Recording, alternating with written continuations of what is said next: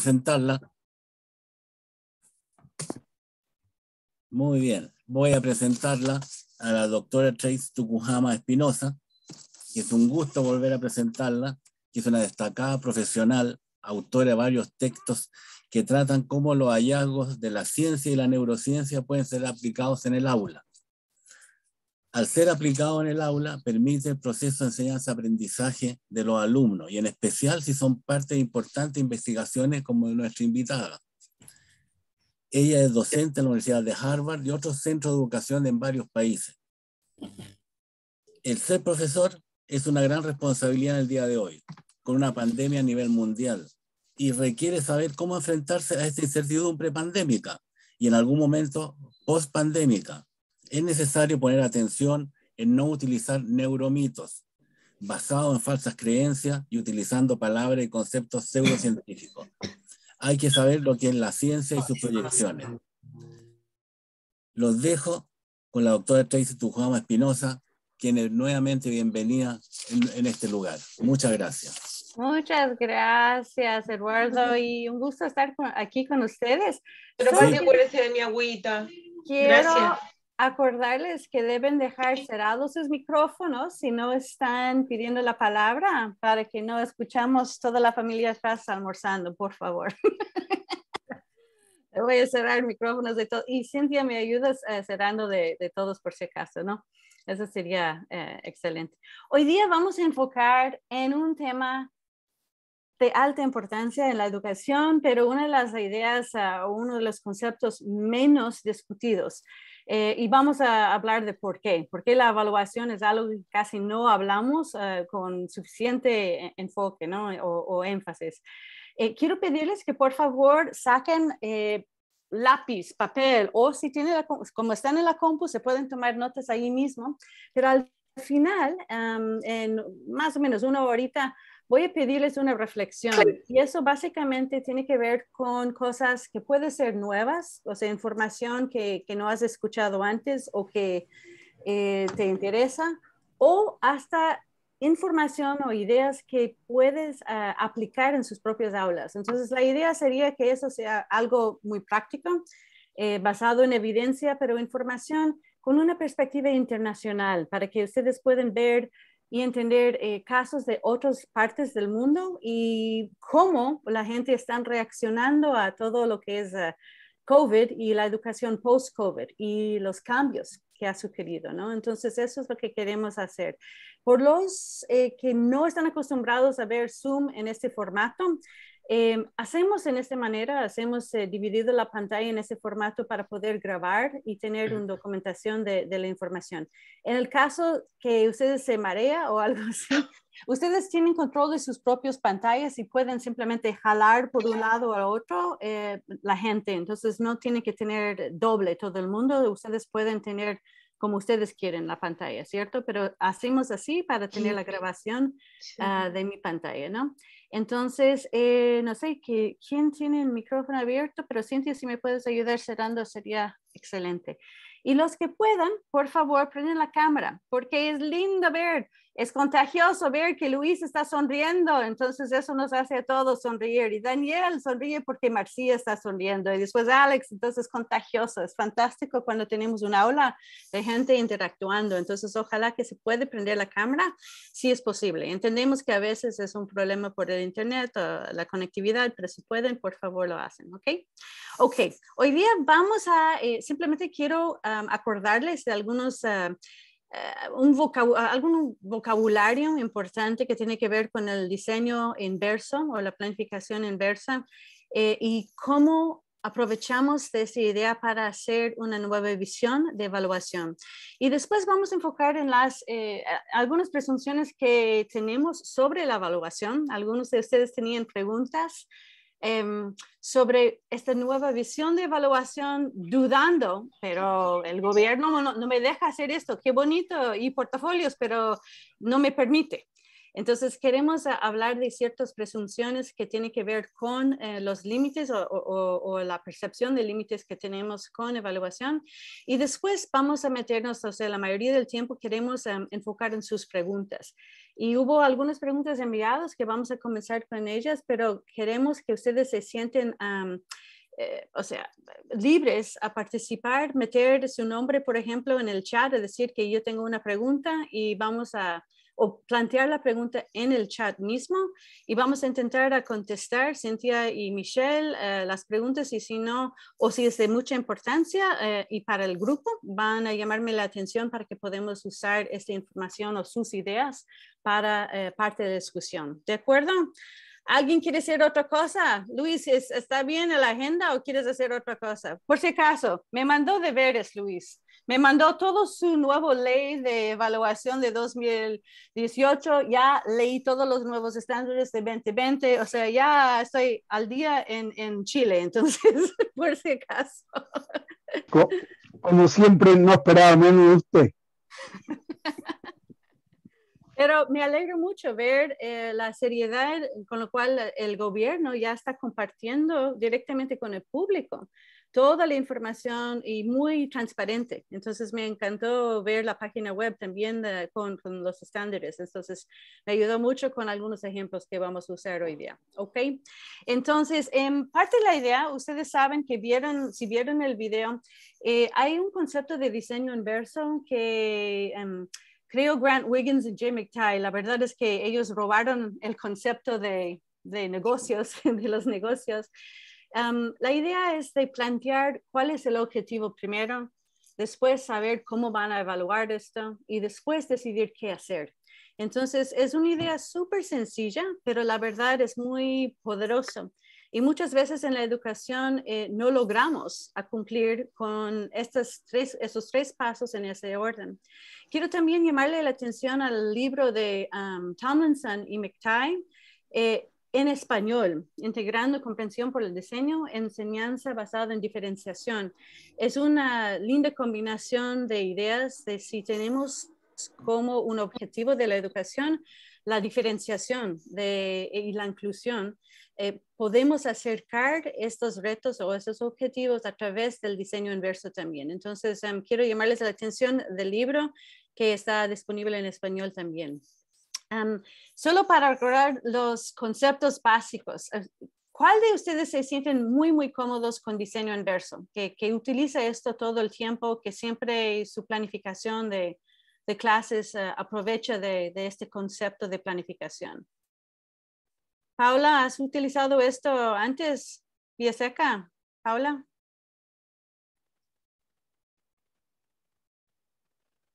Uh, estás en mute, no, no te escucho. ¿No has utilizado esto antes? Paula Villaseca, ¿no? Ok, entonces, ¿hay alguien que sí ha utilizado esto antes? Eh, Roberto, ¿conoces el tema? ¿No? ¿De diseño inverso? No. Ok, interesante, interesante y preocupante. O sea, me, estoy preocupada ahora. Entonces, el concepto es esto. O sea, le voy a resumir breve y después quiero preguntarles, o sea, si creen que tiene una lógica, porque si no ha sido muy utilizado, debe haber una razón, ¿no? O, hay algo, o es simplemente una idea nueva. Entonces, Maggie, ¿sí has utilizado diseño inverso? O sea, perdón, quería comentar que yo no lo he utilizado con mis estudiantes, pero sí he asistido a cursos en los que se ha utilizado conmigo, o sea, que me han enviado, además de este que estamos haciendo ahora. Ya, Ok, entonces sí has eh, tenido la vivencia de, experimentar y aprovechar de ese diseño, pero no has hecho o planificado tus clases en ese formato. Exacto. Ok, interesante. Ok, les voy a plantear esta idea y después quiero saber sus opiniones de eso, o sea, si es, si es algo bueno, porque no está utilizado, ¿no? el primer paso en diseño inverso, solo hay tres pasos, ¿no? El primero es simplemente saber los objetivos. ¿Qué espero al final del curso? ¿Qué espero al final de los 13 años de, educación en el sistema chileno? ¿Qué espero después de, la clase hoy día? Se puede hacer en cualquier nivel, macro, meso, miso, eh, ah, micro. Eh, se puede hacer ese acercamiento a, la planificación, pero la idea básica es cuáles son los conocimientos, destrezas, actitudes que esperas de los estudiantes al final. Entonces, no es de comenzar pensando, ¿qué voy a hacer mañana? ¿Qué actividad? Sino, cuál es el objetivo de esta lección. ¿Qué voy a hacer que va a contribuir a lograr los estándares, a lograr los objetivos que me ha planteado en el currículum que tengo, ¿ok? El segundo paso es decidir cuáles son los indicadores, cuál es la evidencia que vas a aceptar eh, que eso sí va a ser útil para poder medir logros hacia el objetivo. Por ejemplo, Mauricio Aguilar, ¿qué, enseñas? ¿Qué, materia enseñas? Eh, matemática y física. Ok, si enseñas, o sea, dime un tema que enseñaste hoy día, una, un tópico, un tema adentro de matemáticas que enseñas. Eh, por ejemplo, no hoy, pero quería preguntar sobre todo sobre, por ejemplo, resolución de ecuaciones de primer grado. Ok, entonces, uno de los objetivos de la clase de Mauricio es entender que son ecuaciones de, a ver, otra vez. primer grado. De primer grado. Dime un ejemplo, por favor. Eh, a ver, nivel básico, 3x más 5 igual 10. Y saber resolverla. Ok, súper. Entonces, para mí sería la, básica de, de preálgebra. Entonces, ya tengo en mi cabeza lo que tú, tú estás pidiendo, ¿cierto? Entonces, Mauricio tiene la oportunidad en este momento, sabiendo que eso es algo que los chicos tienen que dominar en su clase, a desagregar este objetivo en varias partes. Él puede decidir que su objetivo de clase es simplemente que conocen, que pueden reconocer ese tipo de ecuación. ¿ok? Eso puede ser un nivel bastante básico, ¿no? O él puede tener otro nivel, no, tiene que saber usarlo, tiene que saber, o sea, usar, o sea, tener la destreza de aplicar esa fórmula en, una, en una situación, ¿no? O aún más alto, tiene que saber en cualquier circunstancia de qué sirve esto y cómo usarlo, ¿no? Entonces, él tiene que decidir si el objetivo de su clase es simplemente reconocer que existe, saber cómo funciona o tener un nivel bastante más alto de, de entender cómo y cuándo utilizar esto, ¿no? Entonces, los objetivos no son tan, tan eh, transparentes como parecen, porque adentro de sus estándares, vamos a ver algunos ejemplos, pero adentro de sus estándares a veces dicen que los chicos deben poder interpretar textos ¿Qué quiere decir eso? ¿Qué es interpretar? O sea, ¿qué quiere decir? ¿Y qué evidencia aceptaría que pueden interpretar textos? Entonces, lo que tiene que hacer el docente desde comienzo, como Mauricio, es pensar, yo sé que tengo que, o sea, esto es algo que tengo que enseñar, o sea, es parte de los estándares de este nivel de matemáticas, pero él tiene que desagregar esta idea en varias partes. ¿Es solo reconocer esa fórmula? O saber aplicarlo o saber cuándo aplicarlo, o sea, elegir entre varias fórmulas y saber cómo se aplica, ¿ya? Entonces, él tiene que entender ese nivel de información, ¿ya? Y después, o sea, después de que él tiene los objetivos claros, tiene que decidir cómo se va a evaluar, qué va a aceptar como evidencia, porque si él solo tiene como un nivel, Mauricio, si te digo, mira, el objetivo es solo que ellos reconocen esas fórmulas, o sea, que reconocen que esto es, eh, o sea, de primer, lo que tú dijiste, ¿cierto? Ecuación de primer grado. Exacto, ellos solo pueden nombrarlo, ¿ok? Esto va a tener una evaluación bastante distinta a poder usar el fórmula, ¿cierto? Tienes que tener otro tipo de evaluación si quieres que ellos usan el formulario, ¿no? O la fórmula. O y aún eh, más complicado, dentro de todo, aquí hay un problema. ¿Cuál de esas ecuaciones te va a ayudar a resolver este problema, ¿no? De poder saber cuándo se puede usarlo. Es otro tipo de evaluación. Entonces, dependiendo en el nivel de tu objetivo, tienes distintos tipos de evaluación, ¿de acuerdo? Mm. ¿Tiene sentido esto? Sí. Una, una pregunta, aprovechando ahí la, la Claro, yo eh, al leerlo acá estaba un poco confundido o, todavía me cuesta separar como el objetivo de la evidencia. Eh, no sé si será por, por la forma de que para mí el objetivo de repente es como la evidencia. Ah, me explico, por ejemplo. Ya, reconocer ecuación de primer grado. Eh, pero yo, yo, podría evaluar o buscar evidencia si es que él, yo le doy un listado de ecuaciones y me dice, esta sí, esta no. O se me ocurrió ahora decirle, sabe que inventa ecuaciones que sí y que no. Y otra forma sería como explica con palabras que debe cumplir para que sí o para que no. Pero si, si eso, eso no serían a su vez como tres subobjetivos, pero no, es la duda. sí, no, son, son exacto, o sea, es justamente, es justo el problema que tenemos con eh, evaluación, es que tenemos estándares o tenemos objetivos en el currículo que están explicados en ese formato con verbos como reconocer, pero no te dice cuál es la evidencia de esto. Lo que hemos vivido en el pasado y hasta este momento en Chile, ustedes tienen exámenes al final de, de, los grados, entonces tienen que mostrar a, través de un examen de opción múltiple, que vamos a hablar de las deficiencias de usar un examen de opción múltiple por ciertos objetivos. Puede ser por este tipo de objetivo que estamos hablando de reconocer, se pueden hacer en un examen de opción múltiple, pero no se pueden hacer de niveles de pensamiento más alto de seleccionar. Aquí hay un problema en la ciudad. ¿Cuándo es aplicable esta fórmula? ¿De qué, se útil, por qué es útil? Aplicar esto, de qué sirve para resolver problemas, ¿no? Entonces, dependiendo del objetivo, cómo interpretamos el objetivo, tenemos que pedir distintos tipos de evaluación. Entonces, eh, tú describiste esto como un subobjetivo. La verdad es que son distintos objetivos, porque cada objetivo tiene una distinta manera de evaluar y una distinta actividad que se preste por eso. Si solo es reconocer, tú puedes hacer ciertos tipos de actividades que simplemente es eso sí, eso sí, eso sí, eso no, eso sí, eso no. Pero si tu objetivo es otra cosa, tienes que hacer actividades muy distintas, ¿de acuerdo? Entonces hay que aclarar el objetivo primero. Eso es el número uno. Y eso es el problema más grave que tenemos en educación. Es que normalmente, a ver, ¿crees que eso es lógico? La manera que está escrito aquí, la, la idea aquí, Daniel Roca.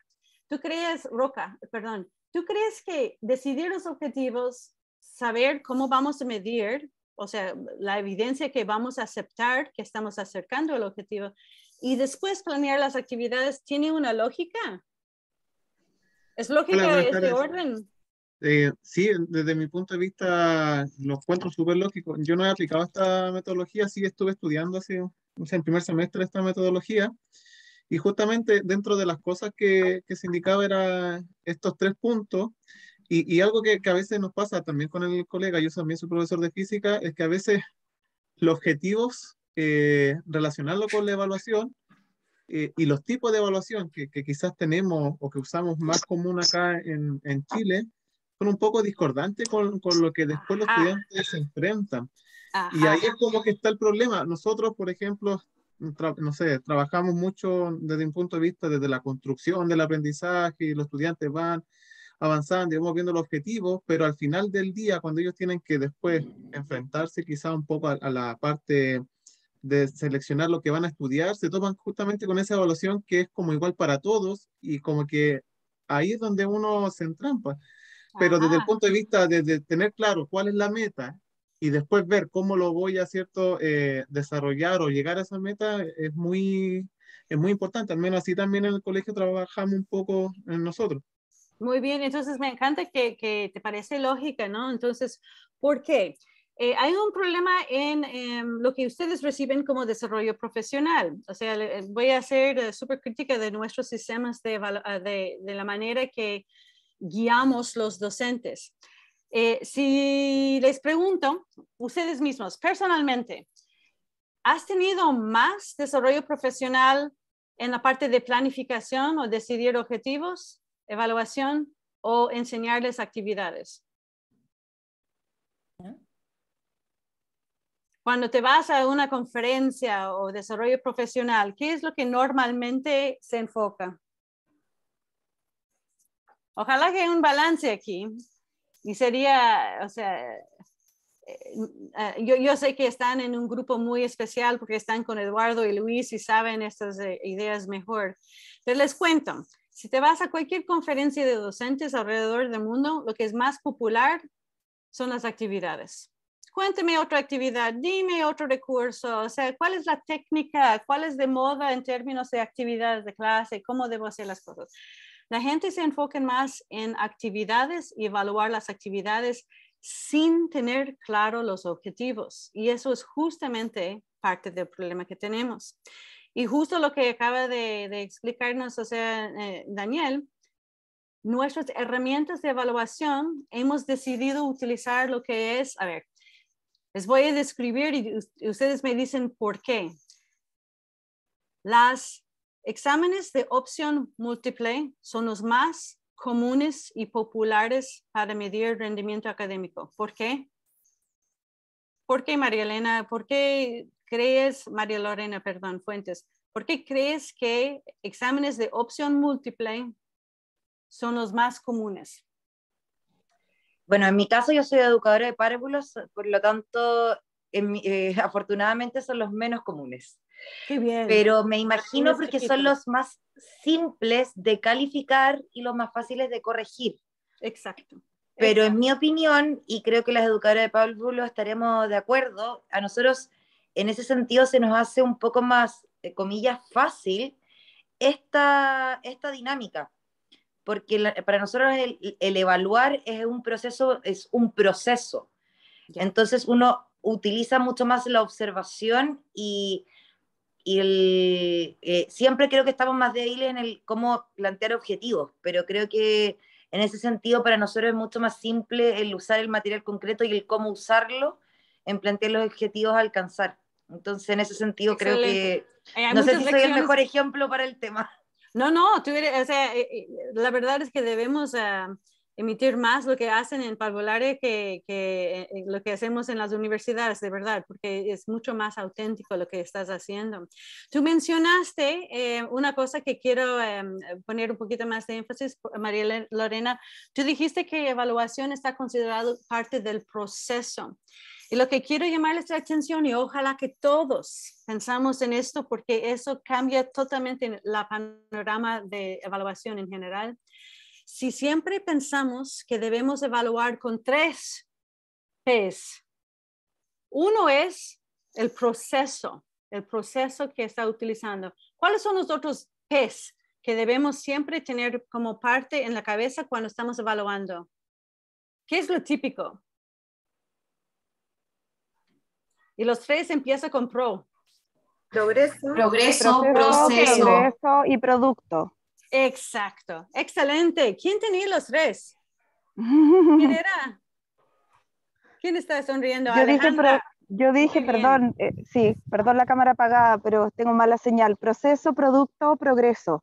Excelente, es excelente. Y eso es una idea que introdujo eh, Guski en 1985. La idea era de que para tener una evaluación de verdad auténtica que realmente tome en cuenta todo, no debemos simplemente considerar el producto final, o sea, el dibujo que hizo el chico, pero también el proceso. Ah, el papá lo hizo. Ah, el proceso fue mal, el producto fue bueno. Entonces, o sea, tenemos que tomar eso en consideración. Pero también para la motivación hay que tomar en cuenta el progreso. ¿Dónde estuvo este chico? ¿Qué vacío se está llenando para llegar a este punto? O sea, puede ser que su producto no es perfecto, pero está en buen camino. ¿ya? Su progreso es bueno. Entonces, siempre hay que tomar en cuenta, y tenemos un ejemplo de eh, rúbricas que siempre en la rúbrica que tú diseñas, siempre agregues otra columna, producto, proceso, progreso por cada criterio. De allí tú puedes también valorar mucho mejor lo que está haciendo el chico en su clase, eh, evaluarlo bien, ¿ok? Entonces, diseño inverso tiene esos tres pasos, objetivos, evaluación y eh, eh, actividades. Aquí viene un segundo presunción de mi parte y quiero pedirles a ustedes un, una buena discusión. Me dice si estoy equivocado. Todo, absolutamente todo que ustedes enseñan y lo que una persona puede aprender se puede dividir en tres categorías. Hay conocimientos, hay destrezas y hay actitudes. Pero absolutamente todo que enseñas Mauricio dice que enseña esta fórmula. Bueno, está enseñando una fórmula, perfecto, pero también una destreza de cómo usar la fórmula, ¿ya? Pero también él está tratando de hacerles amar las matemáticas, de, ver el mundo a través de otro lente de, de, lenguaje que es matemáticas, ¿no? De tener una actitud de resiliencia y positiva o colaborativa o, o están en solidarios los chicos cuando trabajan en conjunto, ¿no? Entonces, todo lo que enseñamos son conocimientos, datos, fechas, hechos, todo esto, destrezas y o actitudes. Ahora, aquí viene, para los que tienen más de 60 años, ¿ustedes recuerdan una época cuando era suficiente solo enseñar conocimientos y tal vez destrezas? ¿Por qué?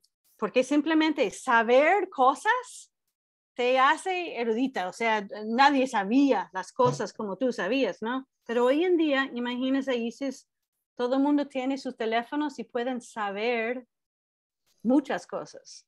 Información existe.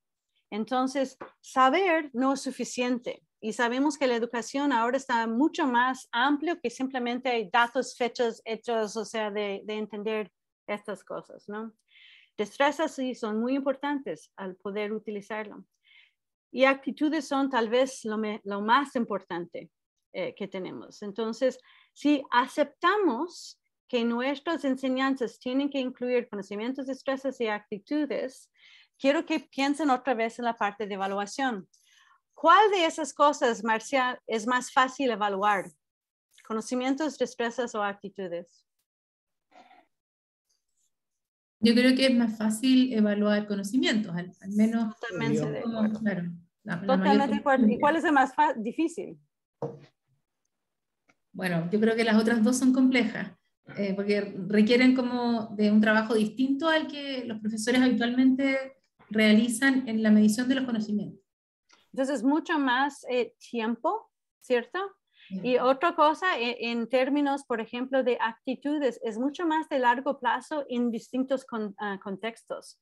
No es que se pueden hacer esto en una sola, o sea, encuentro en la clase. Eh, si tienes un encuentro, un desarrollo profesional o una clase, tú puedes enseñar conocimientos en un par de horas. Eso es rápido. Destrezas tal vez en un par de horas más. Pero actitudes demoran meses en cambiar.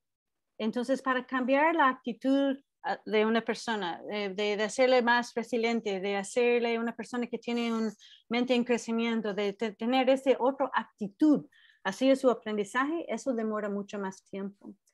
Pero, o sea, habiendo dicho esto, es mucho de lo que decimos, bueno, nuestra educación en Chile es para formar pensadores críticos con mentes abiertas, bla, bla, bla son totalmente actitudes, lo que estamos diciendo. No estamos mencionando en el perfil del estudiante muchos de conocimientos, hablamos mucho más de actitudes. Entonces, hay que pensar qué es importante para evaluar, ¿no? En la antigua manera de ver las cosas hubo un diagnóstico, o sea, entendemos dónde está el chico, dónde está comenzando, eh, él hace algunas cosas, le damos retroalimentación, hay una evaluación y después decidimos, ahí está el chico, eso es el valor del chico como académico, ¿no? Pero eso ha cambiado. Estamos mirando que eso no es una línea recta, ¿no? Hay un constante diagnóstico de los chicos, dónde están, cómo reaccionó. La dinámica de enseñanza-aprendizaje nos hace que nosotros siempre estamos ajustando a la marcha. ¿No? Miramos que, ah, mira, la mayoría de la gente, me parece Camilo escribiendo muchas notas, Diego sí, con muchas ideas pensando, ¿no? Matilde estaba bien metida, pero no estoy seguro si realmente Natalia está siguiéndome o está leyendo otra cosa, ¿qué está haciendo? Ok, entonces, ah, ahora entendemos que hay una dinámica en la enseñanza y el aprendizaje y que es constante lo que llamamos evaluación les voy a decir algo eh, sobre el lenguaje. ¿Alguien aquí enseña inglés? Nadie enseña inglés en Chile. Yo, yo, yo, me, me, me. Ah, who are you? Uh, Natalia? Ah, no. no. Jacqueline Rondón. Jacqueline, ok. Aquí viene una, un conflicto eh, mental que tenemos, Jacqueline, con español. A propósito, ustedes escuchan mi lindo acento. Yo, yo no soy latina para nada, estoy casada con ecuatoriano, practicando español por treinta y pico años, entonces eh, mucha paciencia, por favor.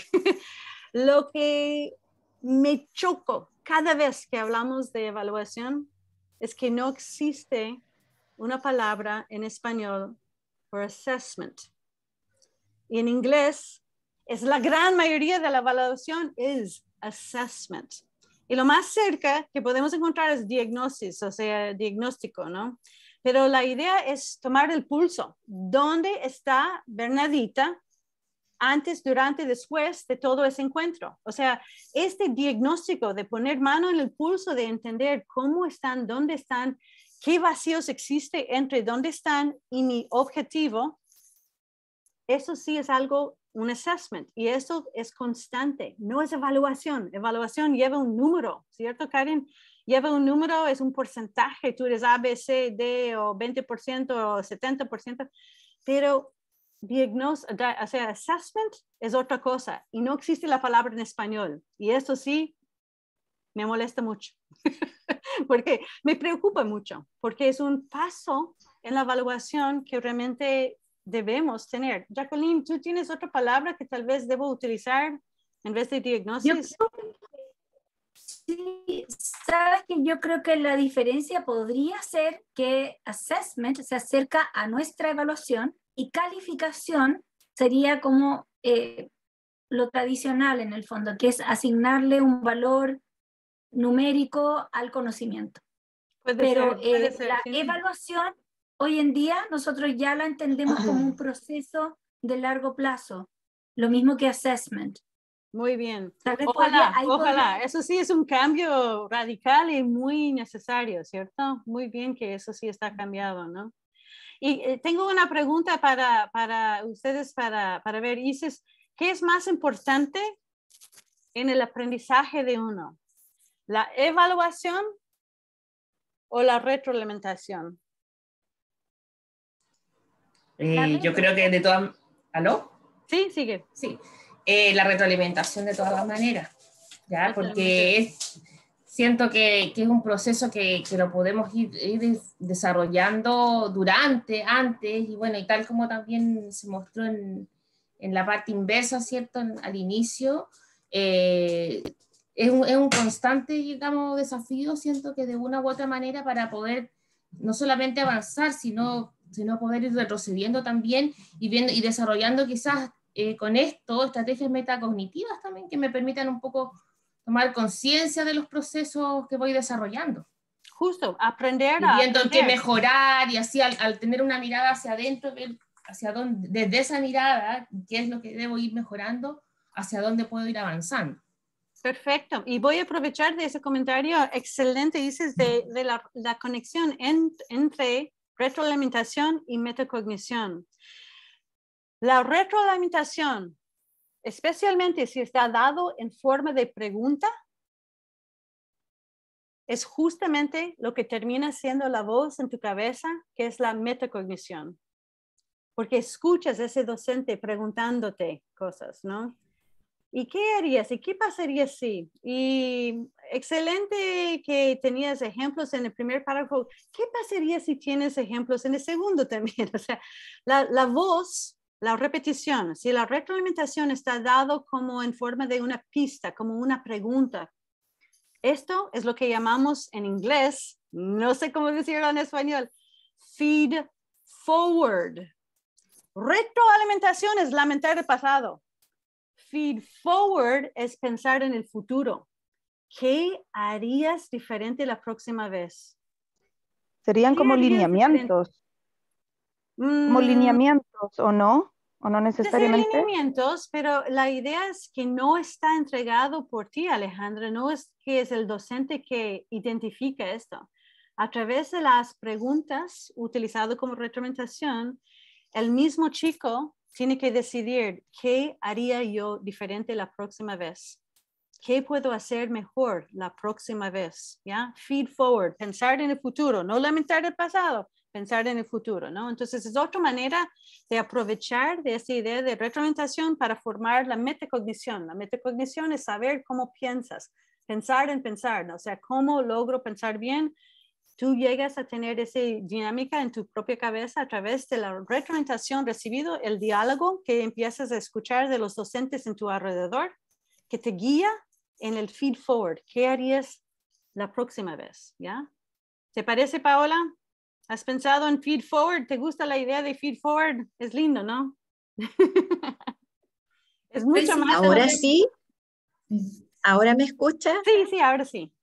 Que sabes qué, me algo muy divertido porque apretaba el otro, el de la pantalla general, pues entonces no me, no me tomaba. Ah, ah, ah ya entiendo. Y, no, y claro, y ahí ahora ya me ubiqué ya.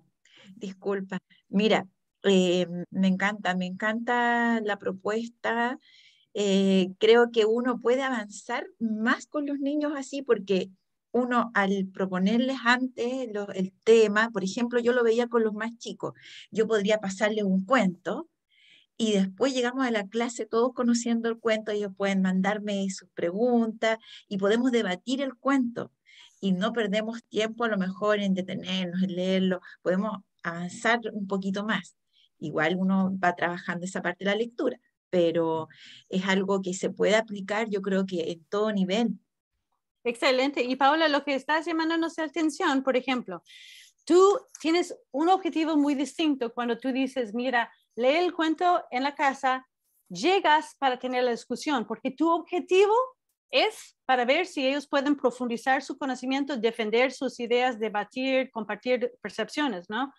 Pero también tiene un valor leer el cuento juntos si el objetivo es, eh, sabemos que leer en voz alta ayuda a lo largo de la vida, dejamos de hacerlo en cuarto grado, pero la verdad es que leer en voz alta ayuda, facilitar, o sea, la rapidez de lectura silencio, silencioso. Entonces, dependiendo de tu objetivo, tú eliges la actividad. Si la, la, la idea tuya es profundizar en el debate, discusión eh, de conocimiento de este cuento, leen la casa y después ven listos para discutirlo, ¿no? Eso sí es un objetivo, pero otros pueden tener otro objetivo donde leer en la clase sí funcione, ¿no?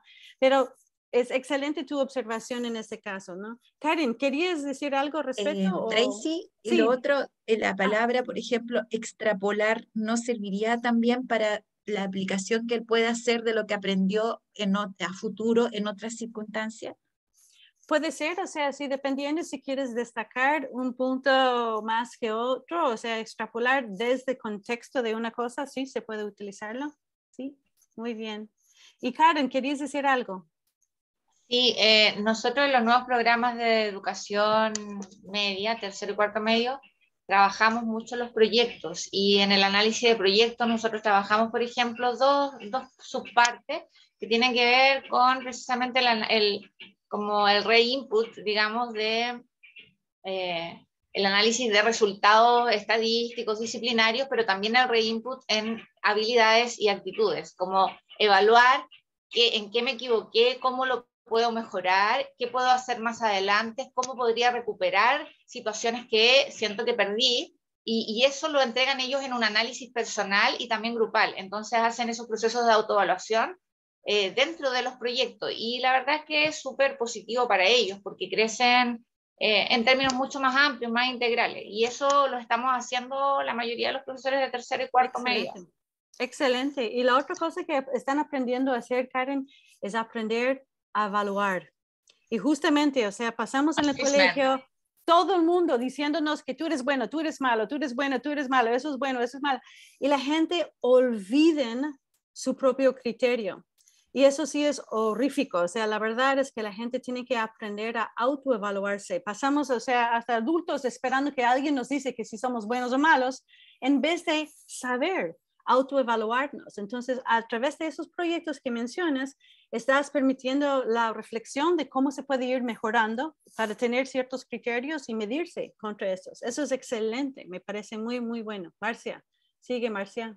Sí, yo quería agregar que también eh, a lo que decía la, la Karin, es que finalmente el alumno también logra entender eh, que hay cosas que sí sabe y sirve mucho para la autoestima, porque el niño de repente hace pruebas y no sabe dónde se equivocó o no lo tiene claro, pero si el alumno sabe dónde está, eh, también sabe que le puede faltar algo que aprender y que en ese lado tiene que poner sus esfuerzos más que en lo que ya sabe, entonces les permite como irse segurizando como estudiante. Y también entender de que el, el aprendizaje es siempre un proceso vivo, es decir, él no tiene por qué siempre saberse todo y si hay algo, eh, también uno aprende de los errores, en fin, tiene que ver un poco con la autoestima académica, creo yo. Excelente. Y, esto es muy importante, ¿cierto? Porque la autopercepción como aprendiz es uno de los factores más importantes en el aprendizaje. Una persona que cree que no puede aprender, uy, yo soy tonto, no, no soy bueno en mate, jamás, nunca voy a poder. O sea, definitivamente no va a aprender. Pero la autopercepción como aprendiz, yo sí puedo, eso sí es algo que cambia totalmente las posibilidades. Entonces, esta autopercepción es muy importante. Muy bien, Marcia. Muchas gracias. Ok, entonces con esto en mente, eh, también quiero también eh, poner en contexto que las pruebas estandarizadas ya estamos dudando esto. Gracias a COVID, gracias COVID por ayudarnos a ver que los exámenes estandarizados tienen muchas fallas. Todo el mundo estaba listo a votar los exámenes estandarizados por años, pero no tenía buena excusa hasta que llegó COVID. ¿Por qué? Cuando miramos esto, cuando pensamos, tenemos objetivos que son los estándares que tenemos en el colegio, los logros de aprendizaje, que son de conocimientos, destrezas y actitudes, ¿cierto? Y después tenemos que utilizar esos objetivos para después decidir cómo vamos a evaluar y qué actividades hacemos. Eso es lindo. El problema básico es que para nosotros los, las misiones de las instituciones son cosas lindas, como fomentar el amor para el estudio o que atrevan a innovar o son gente creativa o cosas muy, muy lindas, lindas palabras, ¿no? Pero ¿qué es lo que estamos midiendo? En un examen de opción múltiple no puedes medir todas esas bellas cosas. Entonces, tenemos objetivos de educación que no son coherentes con las herramientas que tenemos. ¿De acuerdo? ¿Tiene sentido, Camilo, cuando hablamos de la coherencia entre objetivo y herramientas de evaluación? Absolutamente, eh, Tracy. Eh, yo creo que cuando tenemos los objetivos tenemos que tener y tener ser muy claro en qué es lo que vamos a evaluar, cómo lo vamos a hacer. Y eso lo tiene que tener también nuestro estudiante, bastante certeramente aprendido. Es un proceso que nos permite eh, hacer este ejercicio permanentemente hasta que él lo adapte y, lo construya también para él. Muy bien. Entonces es algo que tenemos que nosotros también seguir adaptándonos eh, y buscando las mejores herramientas justamente por los objetivos. Yo creo que hemos logrado tener lindos objetivos. Tenemos gente independientes, que son solidarios, que logran a, cumplir con su potencial. O sea, son cosas bonitas. Sabemos decir esas cosas en nuestras eh, misiones, ¿no? O los perfiles de egreso del sistema de educación chileno pero no tenemos las herramientas todavía que miden exactamente esas cosas, ¿no? Que le hace justamente el problema que, dice Marcia es que la gente baja su autoestima porque se siente que no cumplieron, no son buenos porque el examen me dice que no soy tan bueno, cuando realmente puede ser que cumplieron en muchas de las actitudes, pero tal vez no en los conocimientos, ¿no? Entonces tenemos que ser más coherente con esas cosas, ¿no? ¿Ok? Entonces, la idea básica aquí es que las diferentes herramientas miden diferentes cosas, ¿no? Entonces, si tienes conocimientos, datos, fechas, hechos, versus destrezas, el poder usar esa información, versus actitudes, gente resiliente, gente positiva, gente solidaria, tienes que utilizar distintas herramientas de evaluación. Entonces, para medir conocimientos, ¿cuáles son las herramientas que puedes utilizar, Amaya? Si solo quiero conocimientos, ¿qué puedo utilizar? Eh, yo soy profesora preescolar también. Entonces, los conocimientos los medimos a través de los juegos, de material concreto y de preguntas. Muy bien, entonces tú dices, a través de observación, tú puedes tener una rúbrica de observación que te indica que los chicos sí tienen cierto nivel de conocimientos. Por ejemplo, tú puedes decir cuáles son los colores primarias. A ver, muéstrame. Entonces, tú puedes a través de la observación ver que tienen ese nivel de conocimiento, ¿cierto? Claro, yo le paso algún material de distintas formas en distintos momentos y, por ejemplo, lo hago serial. Si lo hace, le voy agregando dificultad. Si lo hace o no lo hace, yo voy a saber si realmente tiene el conocimiento eh, o no. Muy bien. Pero no me basta con una sola actividad, tiene que ser algo en el tiempo, de distinta forma. Con Eso es algo que tenemos que aprender de, de la gente de Palvularias a utilizar una variedad de herramientas, porque lo típico cuando ya eres mayor es usar exámenes de opción múltiple, básicamente, para medir conocimientos. Y eso sí, qué pena, ¿no? Para medir destrezas, tú puedes tener otro, un poquito más de cosas que puedes utilizar para medir destrezas. Hay otras herramientas distintas, ¿no? Eh, demostraciones, simulacros, ¿no? Entonces tú puedes hacer esto. Eh, aprendizaje basado en problemas eh, o proyectos, como mencionaba alguien, ¿no? Pero para medir actitudes es muy difícil porque tiene que ver una observación a lo largo del tiempo. Tiene que hacer visible el pensamiento de uno, ¿no? Eh, y puedes hacerlo a través, por ejemplo, de diarios, pero más que nada, eh, dice carteras electrónicas o e-portafolios, ¿no? Tener documentación a lo largo del tiempo y portafolios es una linda manera de medir este cambio, ¿no? Entonces, observaciones en clases son otras cosas, ¿no? Pero hay que elegir, esos son un par de ejemplos de los docenas de opciones que existen de herramientas posibles, pero tenemos que nosotros ser un poquito más uh, coherente en los objetivos y las herramientas de evaluación, ¿de acuerdo? Entonces, hubo ah, un par de preguntas. Eh, Mike tenía una pregunta de, ok, lindo, interesante, pero estoy contra un sistema gigantesco, ¿qué hago? O sea, ¿dónde comienzo? Entonces, Mike, eh, yo te vi en un auto, si estás manejando, mm, no te voy a llamar porque es, eh, es peligroso. Entonces, solo para responder, comenzar con uno, comenzar contigo mismo. O sea, eh, empezar con todo un sistema o empezar con, todo un año escolar es mucho. La, la, verdad es comenzar pequeño y manejable.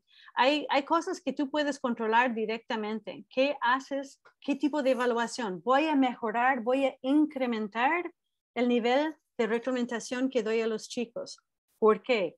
La evidencia muestra, y eso fue hace como seis meses, la OECD mostró en un estudio durante el COVID que agregar una hora más de evaluación, de retroalimentación a los chicos, vale mucho mejor que una hora más de instrucción. Siempre estamos peleando por, horas en frente de la clase. Deben pagarnos por las horas atrás, o sea, que estamos escribiendo la retroalimentación, que estamos animando a los chicos, que estamos eh, listando la manera de motivarles a través de estas preguntas de retroalimentación, de cómo ir mejorando. Entonces, este nivel es donde yo sugería, Mark, que comenzamos. Comenzamos con uno, ¿no? Comenzamos con lo que es más eh, factible, porque pelear contra todo un sistema es muy complicado, ¿no? Stephanie, también tú tienes una pregunta, tienen varias preguntas, ¿no? Uno es cómo evaluar considerando los factores de riesgo o protección de los estudiantes. Eh, cada una de las preguntas que pone Stephanie aquí es un curso entero, entonces solo vamos a responder en forma breve. Y invitarte, eh, por ejemplo, Stephanie, a ver en nuestra página web sobre factores de riesgo y protección más en profundidad, o sea, factores de riesgo y, eh, y, protección tiene que ver con tu familia, con tus circunstancias, con tu tus genes, o sea, tiene que ver con muchas diferentes cosas, pero hay que tratar de siempre eh, tener más peso en los factores de protección y aprovechar de ellos para poder eh, construir esa resiliencia para poder aprender a lo largo de la vida. También ella vio cómo diseñar una clase considerando el cuerpo, mente, cerebro, emociones de los estudiantes. Eh, enseñamos un curso que se cómo aprender eh, pensando en el cerebro, o sea, aplicando la mente, cerebro, salud y educación. Hay otros videos que ah, hablan más en profundidad sobre esto, pero la idea eh, básica de esto, Stephanie, creo que la pregunta viene del video de The Whole Child. Em, comenzamos sencillo. Son seres humanos.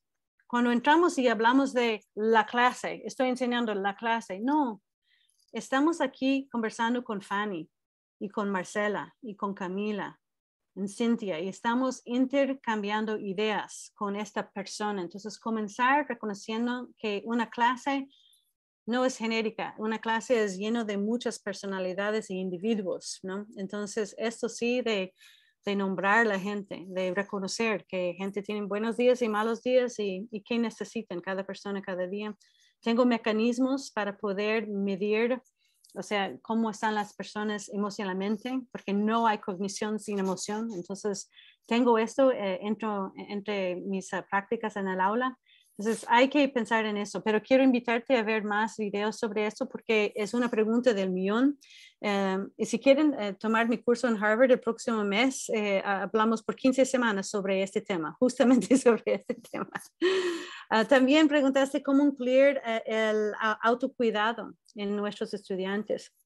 Me encanta esto y Stephanie, quiero saber ¿Esto salió del COVID o es algo que tú estabas preocupado con esta idea desde antes, el autocuidado? Stephanie, ¿estás aquí? Eh, Stephanie. Sí, no sé si se escucha bien, ¿sí? Sí, sí, ahí está. Ah, Fanny, ok. Hola. Hola. Sí, sí, hola. Eh, la verdad es un tema que a mí me, me preocupa desde antes, es, ahora mucho más con la pandemia, ¿cierto? pero desde antes eh, las emociones siento que son clave en el aula, eh, tanto para nosotros los docentes, pero aún, aún más para, para los niños. Eh, ellos, como tú decías recién, llegan y yo leía la traducción del video, porque tuve que ahí traducirlo, el, el video que tú nombraste recién que yo vi.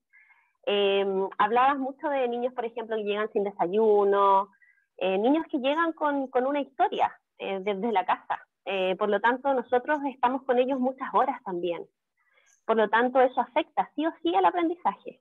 Eh, y, es difícil eh, incluir, por ejemplo, tú hablabas recién de incorporar una hora en la evaluación, pero también yo siempre he pensado en incluir la emoción dentro del currículum propiamente tal. O sea, tiempo para hablar de cómo nos sentimos, de cómo estamos, de qué pasó, a pesar de que yo sé que todos como docentes lo hacemos en el día, pero no siento que falta formalizarlo.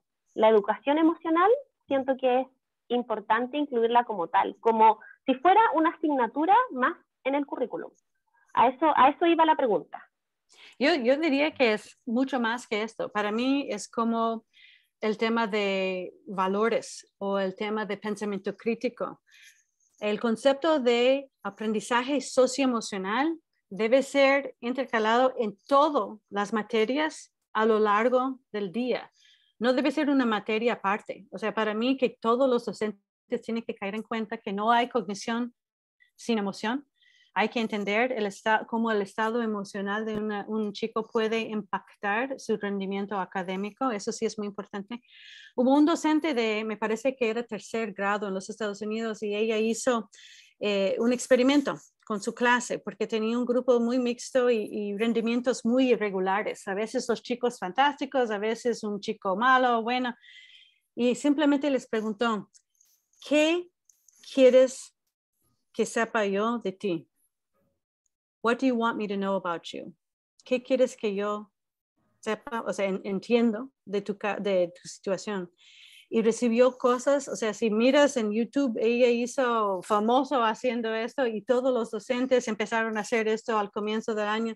Encontraba que hubo chicos que dicen, quisiera que sepas que no soy malo, no hice mi deber porque no tengo lápices en mi casa.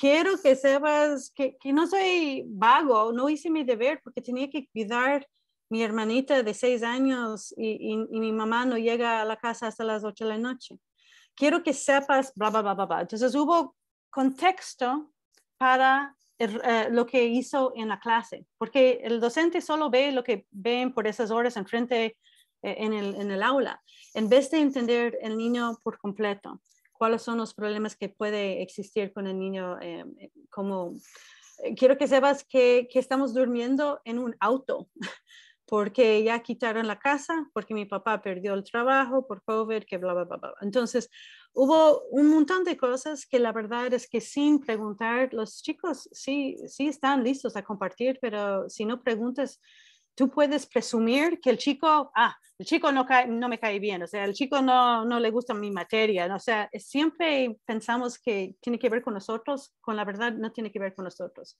es su contexto, ¿no? Entonces, eso sí es muy importante y, poner como regular, o sea, hablando de, de, la pregunta de Mike, cómo comenzar, Fanny, estoy seguro que sí, ya haces esto, pero un, en muchas clases hoy en día simplemente con niños más pequeños le pide como una al, entrar tienen caritas de distintas formas, felices o tristes, o lo que sea, simplemente cómo se siente hoy día para reconocer las emociones de uno, ¿no?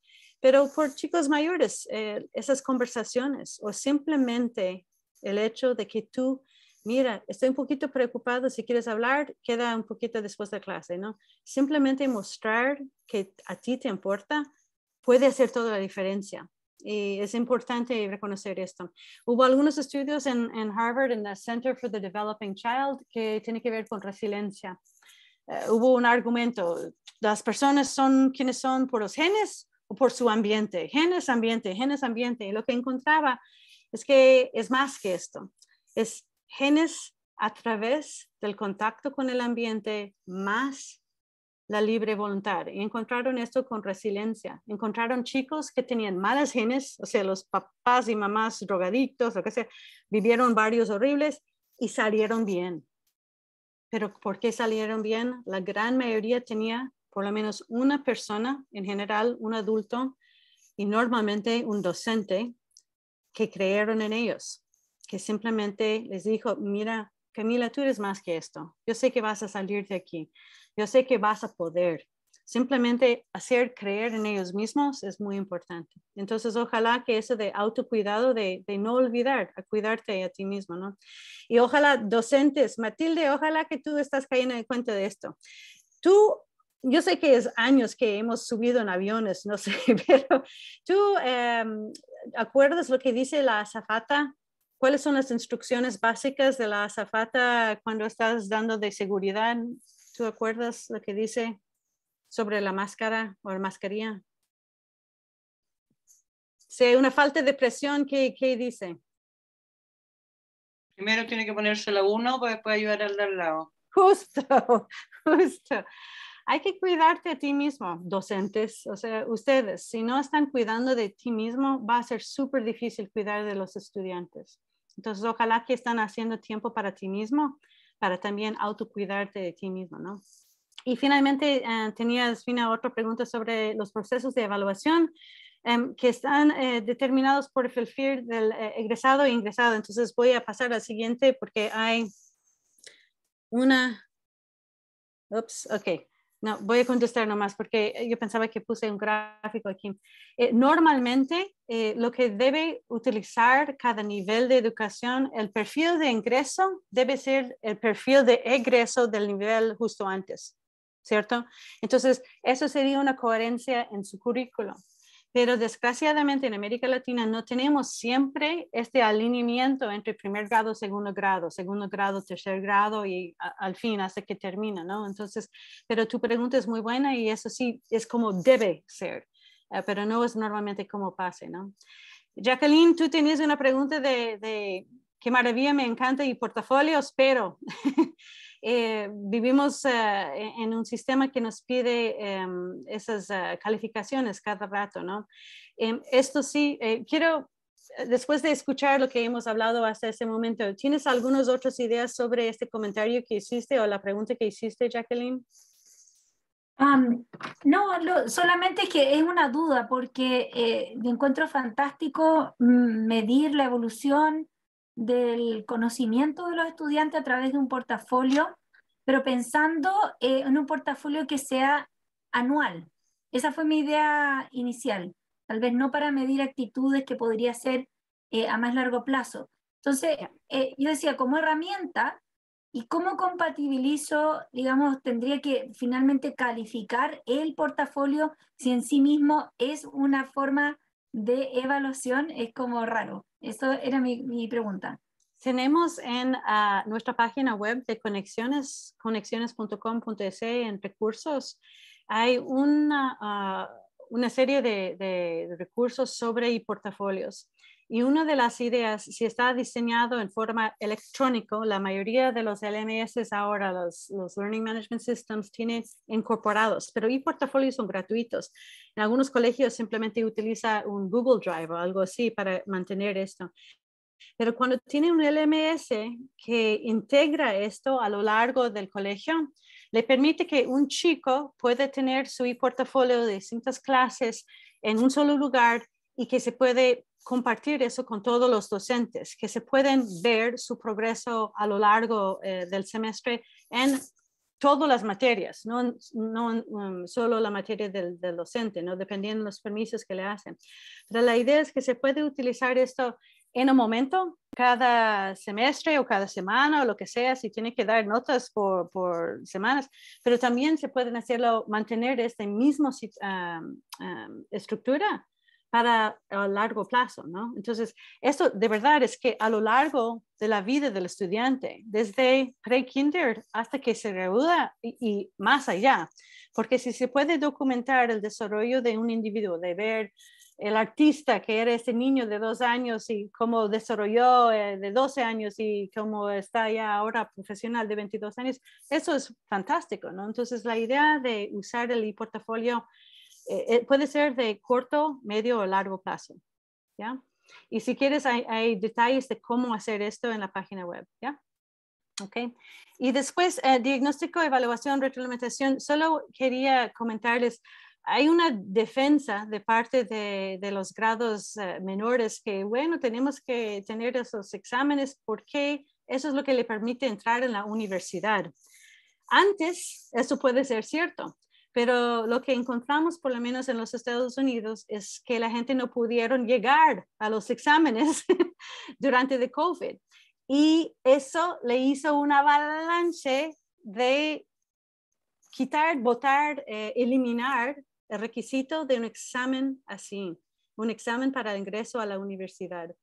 Lo que decidieron y lo que uh, dicen la mayoría de las universidades cuando les preguntan, hay un uh, consorcio que se llama um, 3D Transcript que está promoviendo la idea de tener otro tipo de transcripto, de, documentar el estudiante, que realmente es como un portafolio, Jacqueline, que básicamente tiene varios niveles eh, y existe, existe y, está, es eh, internacional, pero eh, están tratando de tener más y más instituciones, por si acaso, si tienen interés.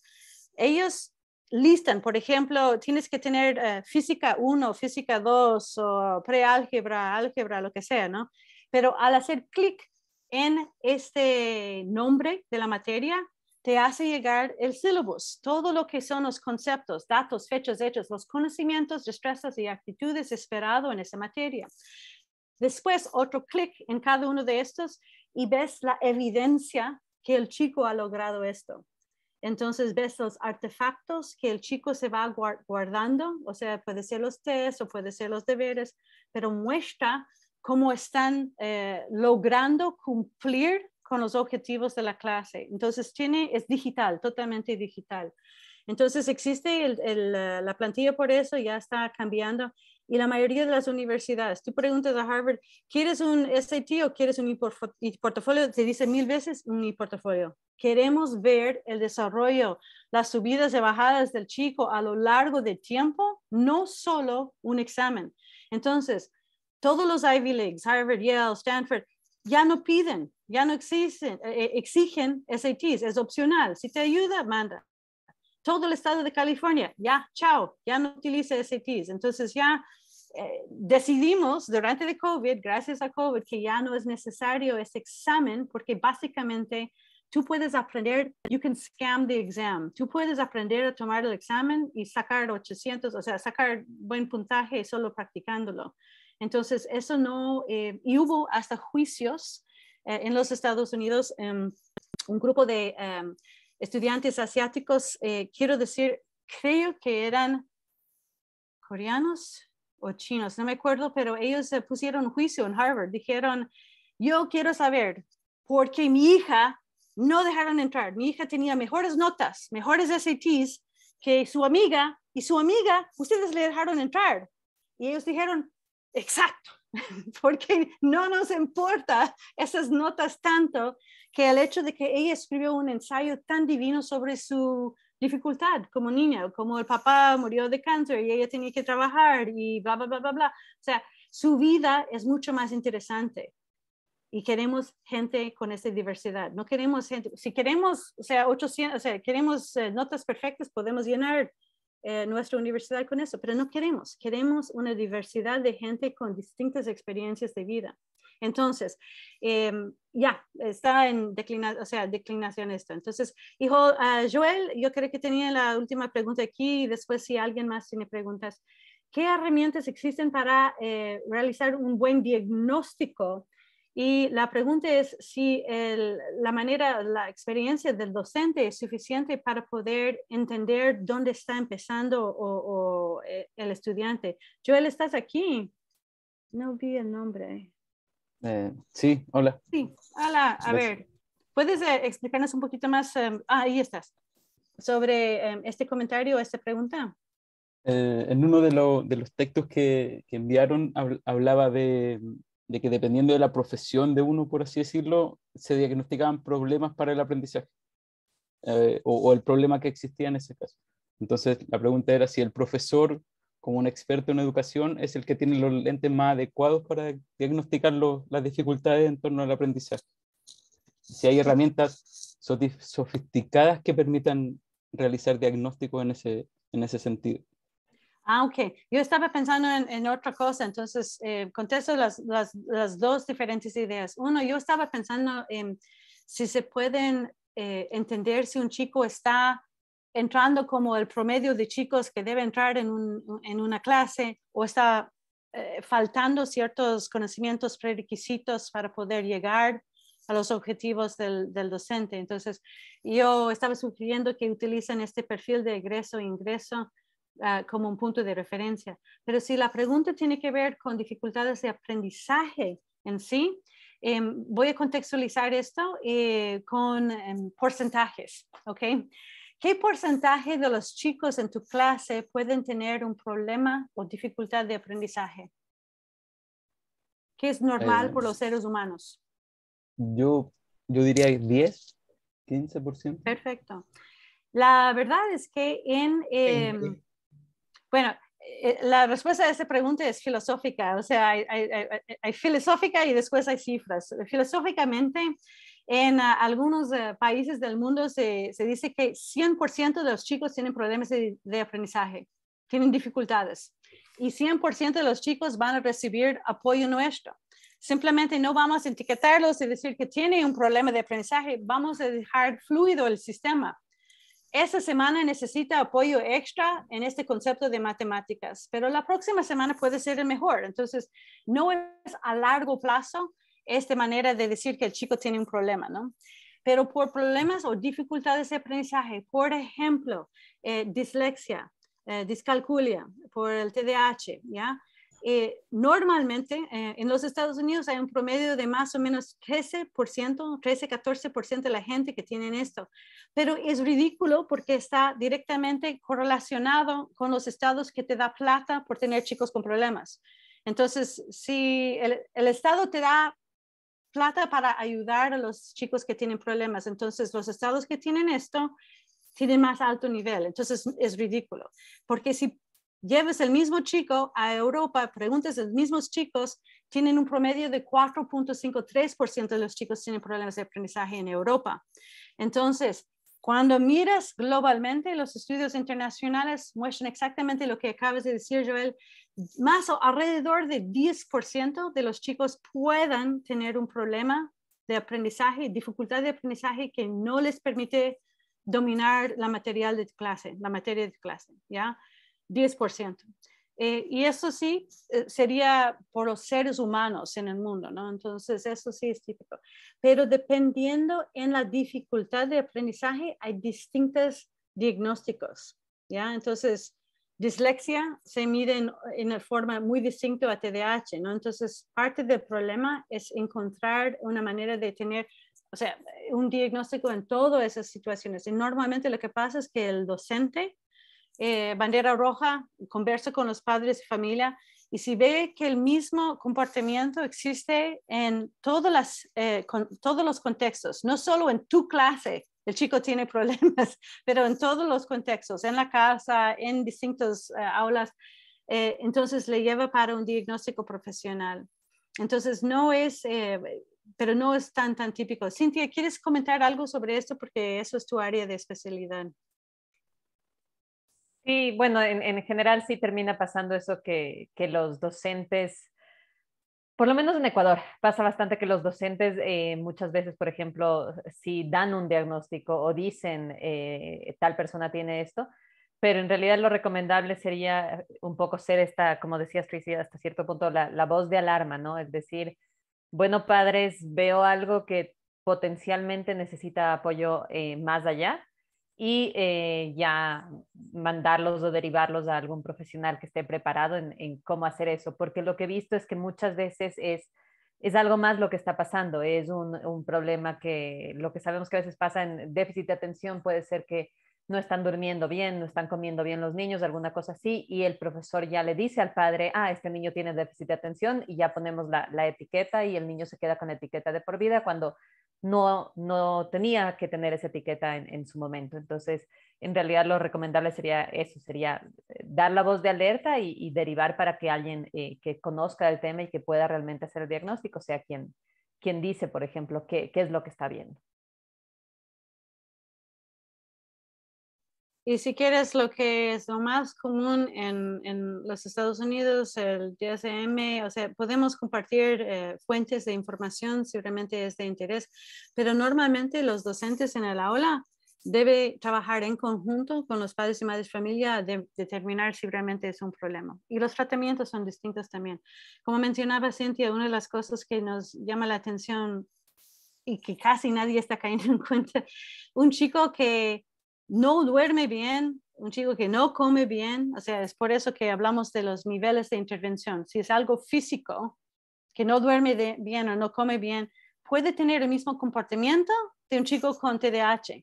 O sea, parece por comportamiento, ah, tiene un problema de tensión, déficit de tensión, pero no puede ser que, eh, puede ser que no está causado por los raíces de, de un imbalance químico, sino un problema de dormir. ¿Ya? Entonces hay que tomar en cuenta, es por eso, mirar el, el chico, eh, el niño eh, en, eh, por completo, más holísticamente. ¿Ok? Entonces, con esto quiero ver si hay algunas preguntas de ustedes, o sea, basado en la información que tenemos antes que tenemos una, una pequeña reflexión. O, Cynthia, should we change it up and do the reflection first? Tal vez hacemos, tal vez hacemos la reflexión primero y después vamos a ver si esto em, eh, ah, da a luz algunas otras preguntas. ¿Les parece? La reflexión, ah, Daniel, ¿quieres decir algo? Sí, sí, eh, es que justamente desde el punto de vista de la evaluación y viendo el contenido y también la, la forma en que cada uno de nosotros trabaja desarrollando las distintas unidades, al menos a mí en particular me pasa algo y que quizá a otros colegas también que hacemos la, misma asignatura, es que los, al menos acá en Chile los contenidos desde hace un tiempo se han venido bajando. Entonces, eh, yo salí en 2008, eh, me recuerdo en el segundo medio, tercero medio, estaba viendo en profundidad todo lo que son sistemas de ecuaciones, y eso actualmente, si no me equivoco, se ve en primero medio, octavo básico, se empiezan a ver eh, ecuaciones lineales. Y yo en física, por ejemplo, tengo que ver la unidad de calor y temperatura, electricidad, y me aparecen ciertas ecuaciones. Entonces, cuando llego a ese punto donde hay un modelo que los estudiantes deben entender, me topo con la realidad de que los estudiantes todavía no dominan ese tema matemático y que no es culpa tampoco de los profesores de matemática porque eh, no están correlacionados los contenidos según el, el nivel. Entonces, yo lo que veo a veces es que eh, justamente eh, las decisiones que se toman a nivel de país frente a los contenidos no están alineadas según sea el, el, nivel que tiene cada uno y también a la edad que están los niños. Yo en octavo básico, porque los niños tienen 12, 13 años, eh, hablar de un concepto que es calor específico, que es súper abstracto para ellos, cuesta mucho. Entonces, de repente veo que el, el nivel eh, de madurez que tienen los niños y el contenido que se debe trabajar no está acorde, pero eh, son las normas, porque es el contenido que tenemos que trabajar. Entonces, cuando uno va a evaluar eso, va a trabajar y, está en esa, utilizando una metodología que ojalá sea la mejor para poder dar a entender ese contenido, nos topamos con esas dificultades que a veces no son ni culpa del estudiante, ni culpa del profesor, sino que más bien es de un sistema que no está como articulado y que provoque justamente que los niños vayan mejorando. Entonces, eh, al menos así como un, punto de inflexión o más que nada desde el punto de vista de evaluación, a veces nos pasa, claro, evaluamos, eh, no sé, sigo con la idea de calor específico y la verdad que es un concepto que que a veces a los niños se les hace muy abstracto, porque ya la palabra calor la asocian a otros tipos de calor y, y, y dicen, ah, eh, y no hacen mucha diferencia. Entonces, desde el punto de vista eh, cognitivo, yo siento que a veces los niños no tienen como la madurez para, para hablando de la, general, de la generalidad, porque obviamente siempre hay un grupo que sí eh, tiene quizás capacidades mayores y lo logra, pero cuando uno está en la clase está frente a todo, o sea, no estoy frente a un grupo en, en específico. Y lo otro también que, que me gustaba esto desde de, de la evaluación es que algo que se, ha, que se habla mucho y que lo decimos mucho es que todos somos diferentes. Sea, independiente de, del tema, eh, como si que ten, ten, tenemos alguna habilidad o, o, nos falta algo, eh, todos somos diferentes, entonces, incluso nosotros los profesores, entonces los niños, cuando uno a veces va entendiendo eso, va entendiendo un poco mejor cómo eh, es el proceso de aprendizaje y cómo ir evaluando en función del niño. Ahora, ¿Qué es lo que nos pasa? Y yo creo que aquí quizás estamos de acuerdo, es que el tiempo no nos acompaña. Porque el ideal sería que todos tuviéramos el mismo tiempo o, mayor tiempo para darle una buena evaluación específica a cada estudiante, pero la realidad es que no es así. Entonces, eh, al menos con esas cosas a veces uno se topa desde el punto de vista de la evaluación y por eso que tiende a caer en estas evaluaciones que son test, que son eh, de, revisión rápida y, y, justamente se pierde a veces un poco el foco. Tienes, tienes toda razón en, en, en, los tres puntos que hiciste. O sea, eso sí, de la falta de coherencia entre diferentes grupos de docentes. Una de las, las sugerencias eh, ahorita, y eso sí ha, ha, llegado a ser bastante más um, claro durante el COVID, es la comparación internacional en qué nivel, o sea, qué domina, qué puede hacer los chicos, todos los chicos en el mundo de cuarto grado, si haces una comparación es bastante coherente, lo que es fascinante, ¿no? Pero lo que tú mencionaste, el segundo punto que es más importante que cualquier de los otros puntos, ¿qué es más importante para el, el nuevo aprendizaje? ¿La edad de la persona? ¿El nivel, o sea, cognitivo del, del individuo? ¿O las experiencias previas? ¿Cuál es más importante para un nuevo conocimiento, un nuevo aprendizaje? Las, las ideas previas, los conocimientos las, previos. Los conocimientos previas. Entonces, justamente, eh, no es la edad que es muy importante, o sea, en qué momento están aprendiendo. Tienen que aprender en una forma, ustedes han escuchado de constructivismo, existe neuroconstructivismo, existe redes neuronales que son los básicos que tienen que estar bien eh, fundamentado hasta que tú puedes poner encima de esto conocimientos de más alto nivel. Entonces, los chicos no tienen concepto de ese calor porque simplemente no tienen los andamios o andamiaje o los prerequisitos para poder tener ese nuevo concepto. Entonces, tú tienes que asegurar que esos nuevos conceptos. Una solución a esto sería diseño universal del aprendizaje, es que es otro formato de construir clases donde tienen esas redes para asegurar que nadie, o sea, todo el mundo recibe todos los prerequisitos necesarios para que logren el objetivo que tú estás mencionando. Entonces, esto sí, también hay otro video en, nuestra página web que ojalá que se, se pueden revisar.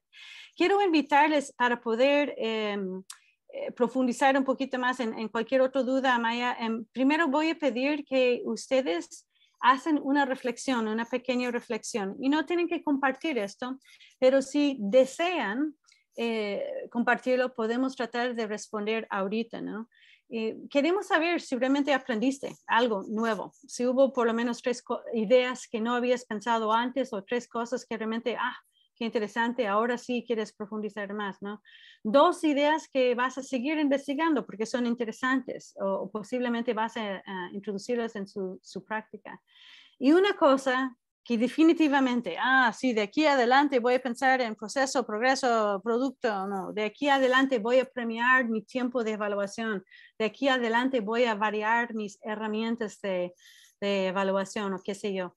Si hay algo que vas a hacer, una promesa uh, a ti mismo, ¿no? Que vas a cambiar en tu práctica docente. Entonces, quiero que ustedes um, tomen, voy a callarme por tres minutos y después uh, voy a dar uh, palabra a, a, Maya para compartir sus preguntas, ¿no? Pero primero, por favor, tomen tres minutos en silencio para escribir esas seis oraciones y pueden compartir en el chat si quieren, pero no tienen que hacerlo. Simplemente puede ser un punto de partida para poder conversar más.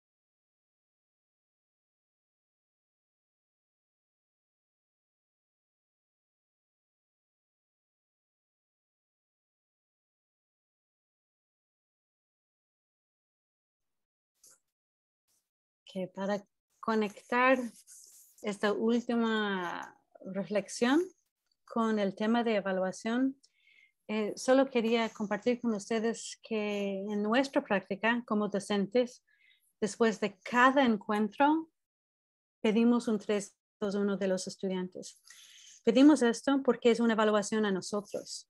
Nosotros revisamos los 3-2-1 y miran, wow, las cosas que aprendieron eh, no eran lo que yo pensaba que eran más importantes, aprendieron otras cosas o nos ayudan, ¿no? O las cosas que más quieren saber nos ayuda a refinar la próxima clase y responder a esas ideas, ¿no? Entonces, tratamos eh, en nuestra práctica de incorporar un mejoramiento de, de, nuestra práctica docente cada vez que tenemos este tipo de encuentros. Entonces, como mencioné, no tienen que hacerlo, pero les invitamos si desean entregarlos eh, nosotros prometemos responder, ¿no? Entonces, eh, pero si hay alguien que tiene, basado en esta reflexión ahorita, uh, otras ideas o preguntas si quieren um, conversar o, mencionarles, por favor, uh, dinos ahorita. Daniela, sí hiciste la reflexión.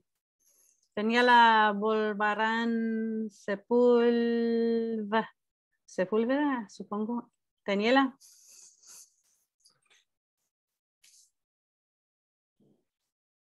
Hola. Hola. Sí, hiciste la reflexión. ¿Tienes algunas cosas que quieres saber más o, algunas ideas o dudas?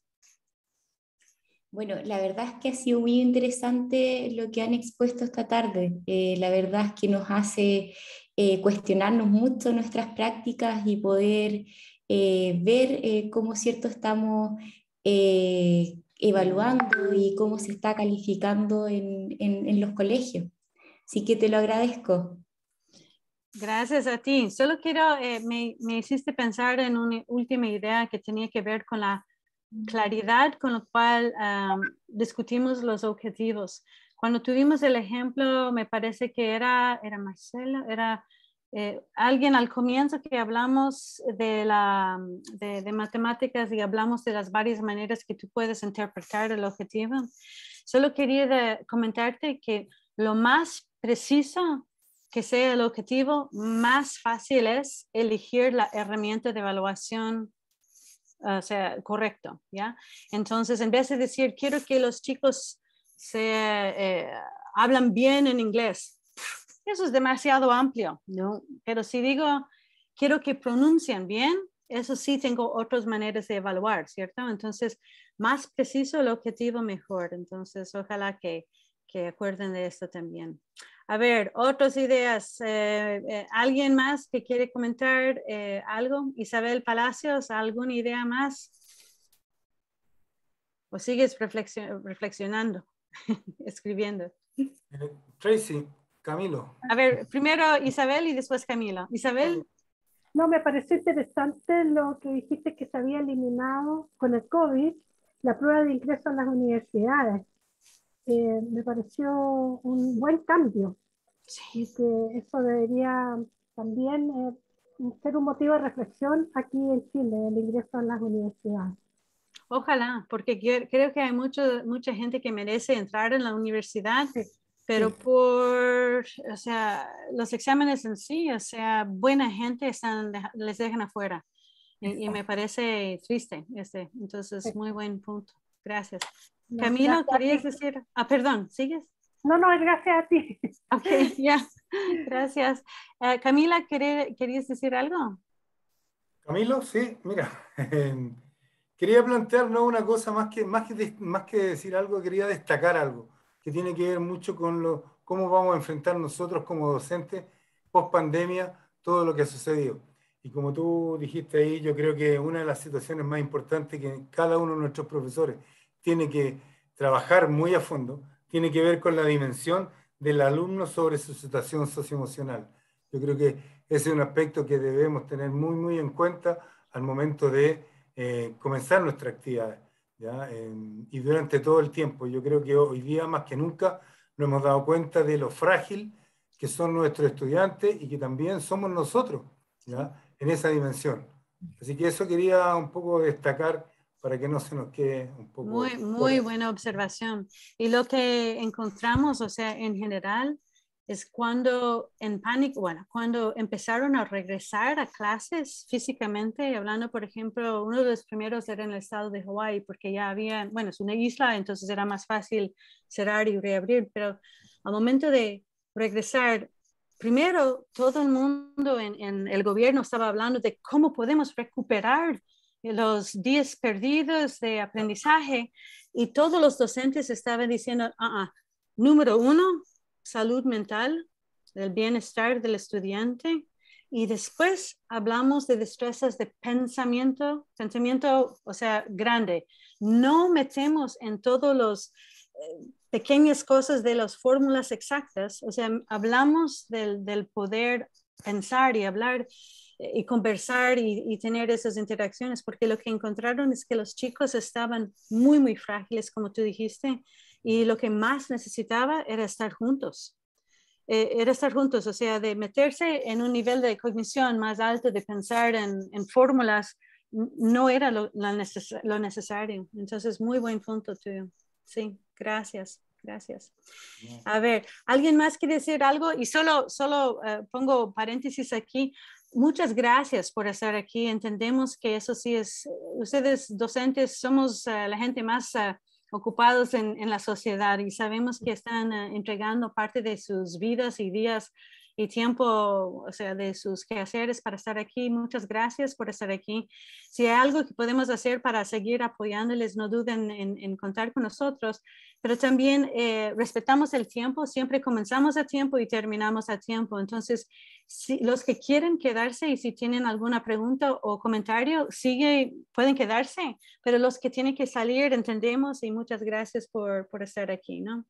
Una eh, cosita, Tracy. Sí. Eh, sí. también les invitamos a visitar nuestra página web donde están todos los recursos de este y de muchos otros temas relacionados a las ciencias del aprendizaje. Eh, seguirnos también en nuestras redes sociales y eh, se pueden suscribir también ahí en la página si quieren recibir más recursos, eh, eventos y demás que nosotros, investigaciones también que, que solemos, que Tracy suele hacer y también comparte la información. Gracias, Michelle, por acordarme de eso. Magali, siempre sonriente todo este, esta tarde. ¿Tienes algún comentario o pregunta o observación? Sí. No, agradecer, la verdad es que yo eh, trabajo en el servicio de la gestión más que de la clase directa y algo que me llegó, digamos, profundo de, todo, de toda la reflexión y de todos los aprendizajes que tú nos has impulsado es cómo el vínculo pedagógico se fortalece, obviamente, desde eh, la conexión emocional con el estudiante. Y nosotros los maristas que hablamos de la pedagogía de la presencia, claramente esa pedagogía de la presencia tiene que fortalecerse desde ahí. Y cómo recreamos eso ahora post pandemia, eh, ese, ese enunciado que traemos nosotros en nuestro corazón de hace más de 200 años, cómo lo recreamos en el hoy basado en estos conocimientos de neurociencias y, y, de todo lo, lo, que tú nos has traído hoy día. Eh, me encantó eso del 321, eh, porque no, no, no, lo, no lo conocía y me costó, disculpe, eh, como clasificar como lo nuevo, porque la verdad es que cada vez que un conocimiento lo, lo, lo, reposicionamos, lo compartimos y lo trabajamos, se, se, se conforma como algo nuevo también. Uh -huh. Aunque todos sabemos lo importante que es el clima emocional en el aula para provocar un aprendizaje sólido, es diferente verlo según el contexto que vamos viviendo. Eso. Eh, Excelente comentario, muchas gracias. Solo quería llamarte la atención o sea, en términos de neurociencia. Eh, la parte cuando hablamos del clima social o del ambiente de clase, ¿no? Hay un, hay un área de estudio muy interesante que se llama el contagio social, que literalmente es como la gente contagian el ambiente emocional del grupo, ¿no? Entonces, el este grupo de gente están o sea, unidos a través de ese tipo de comunicación. Y las dos maneras más fuertes que nosotros transmitimos emociones es a través de uh, expresiones de la cara y tonos de voz. Entonces, parte de eso, de poder, cuando tenemos cursos en línea, por ejemplo, insistimos que la gente prenda la cámara, porque es la única manera que el, docente o, todos nosotros podemos poner mano en el pulso de cómo estamos como un grupo. Si estamos más o menos bien, si la mayoría están allí, o sea, eh, todo esto es muy complicado en línea, pero la verdad es que es igual o más fuerte en línea que en el aula mismo, porque no, no tenemos los otros sentidos, no tenemos eh, el, olor, no tenemos el toque, o sea, no podemos tocar, entonces tenemos que aprovechar de esto, de, de tonos de voz y caras, entonces muy importante esta, esta conexión. Entonces, más aún, Tracy, si es que consideramos el aula de hoy en día, que es con la mascarilla tapándonos la mitad de la cara, que, que no logramos ver si sonríen o no. Exacto, eso sí es complicadísimo, entonces, de, tratar de leer o entender cómo está el grupo, ¿no? Entonces, entonces eh, por eso, o sea, te agradezco aún más por estar siempre sonriendo, siempre miro y ahí está Magali sonriendo, sonriendo, como gozando, entonces me encanta, entonces eso sí ah, ah, me, me da una buena sensación que estamos en buen camino, entonces, gracias. ¿Algún otro comentario? ¿Alguien que no ha hablado? Rosario, Mate, ¿quieres decir algo? ¿Algún comentario, observación o, o dudo que quieres aclarar? Yo solamente quería agradecerle, Tracy, solamente por esta clase. Muchas gracias. Nada más, muy breve, para que alcance a contestar preguntas. Gracias. A ver, Rosario. No, solo agradecer el, eh, esta charla eh, muy interesante. ¿Y qué vas a cambiar en tu vida, Rosario? ¿Vas a cambiar tu vida? Eh, mi vida, mi vida. a propósito, diseño inverso, decidir el objetivo, saber cómo medirlo y después actividades, puede ser la filosofía de vida. O sea, ¿por qué estoy aquí en, en este mundo? O sea, ¿cuál es el objetivo de mi vida? Ok, ¿cómo voy a evaluar si estoy logrando los objetivos, ok, ¿qué hago? ¿Qué hago? Entonces es una filosofía también. No, no, muy interesante y, o sea, de hecho, uno va a seguir investigando y va a seguir profundizando más para poder después aplicarlo ya más seguro, porque claro, con esto igual queda uno con, por mucho que de repente pregunte o qué sé yo, uno queda como medio inseguro todavía. Pero al seguir profundizando más, después eh, poder ya tenerlo más firme y aplicarlo. Muy bien. Así que no, agradecer nomás todo. Yo, yo diría, la, tú puedes empezar, o sea, cada vez que te llama a una reunión, primero pregunta, ¿cuál es el objetivo de la reunión? y después, en este momento, sabes cómo medir eh, si va a ser un éxito y después qué debes hacer. Bueno, si el objetivo fue X, ¿por qué estamos haciendo Y? Entonces, tú puedes ya ser bastante más eficiente en la vida diaria también haciendo esto. okay. A ver, ¿algún otro duda, comentario? Uh, sí, Mauricio. Ahí sí. Eh, sí, eh, bueno, de las cosas que uno puede cambiar, bueno, hay muchas. Yo me inscribí con el e-portafolio, pero la verdad que quería comentar o invitar a que, como tú, tú lo dijiste, los, los, los objetivos como desglosarlos bastante, como que sean transparentes, como que sean cercanos a los alumnos. Y ojalá esos eh, también los entreguemos al inicio de nuestra unidad de aprendizaje y que no nos pase, como me pasó a mí como, como alumno, que cuando yo le preguntaba a la profesora qué entra, me decía todo.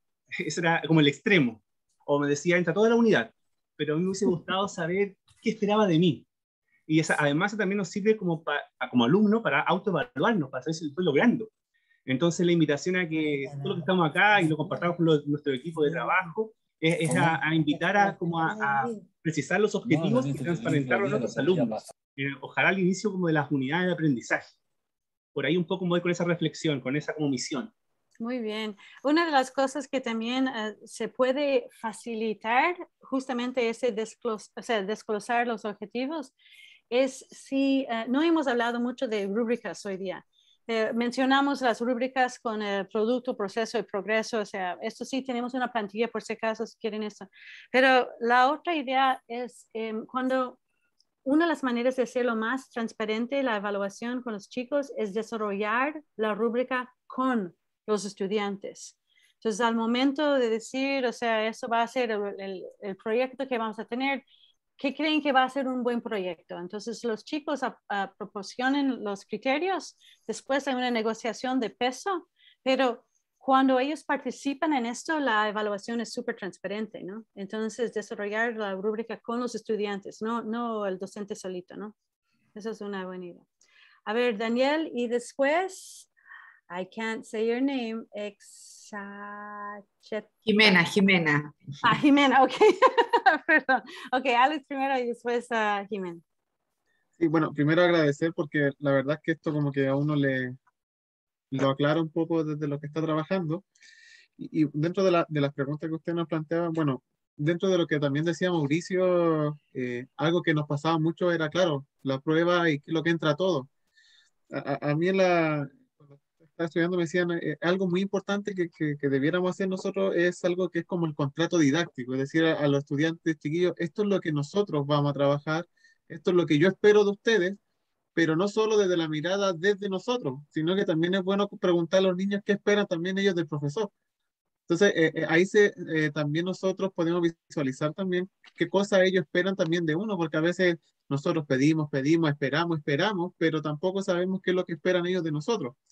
Y la otra que nos deja, al menos a mí me dejó con, con mucha inquietud, es justamente el tema del diagnóstico, pensando en el próximo año, o sea, cómo ese diagnóstico se va a realizar y que no solamente sea en una clase, en un momento dado, sino que evidentemente el diagnóstico y algo que, que hoy día como que aprendí, que es constante, o sea, no tomarlo como quizás tradicionalmente se hace al principio, ya los niños están acá, avancemos, sino que también ir diagnosticando esto para justamente ir tapando aquellos vacíos que los niños vayan quedando. Entonces, desde el punto de vista, desde lo que nos queda, o, como el desafío que, que, al menos a mí me quedó, es justamente cómo ese diagnóstico va, va a representar justamente lo que los estudiantes saben y cómo también ese diagnóstico me va a permitir ir generando una estrategia de trabajo con ellos. Yo creo que es un desafío súper complejo pensando también eh, en cómo se dieron las clases. Nosotros en el colegio trabajamos de manera híbrida, eh, pero cuando habían pruebas todos se quedaban en la casa. Entonces, eh, esa es una facilidad que ellos tienen y que después, eh, obviamente, todos sabemos que genera mucho vacío porque eh, muchos de los niños se quedan en casa no justamente porque sepan, sino porque a veces les es más fácil, no todos, pero sí algunos lo hacen porque les es más fácil quizás copiar, traer información y eso lo vamos a ver ahora. Entonces, hay muchas interrogantes, pero el diagnóstico es la clave. Entonces, es, es algo Qué bien que vas a, poner mano en el pulso a lo largo del curso, ¿no? Eso sí es importante, el, a lo largo del curso tiene que ser esto y reajustar, ¿no?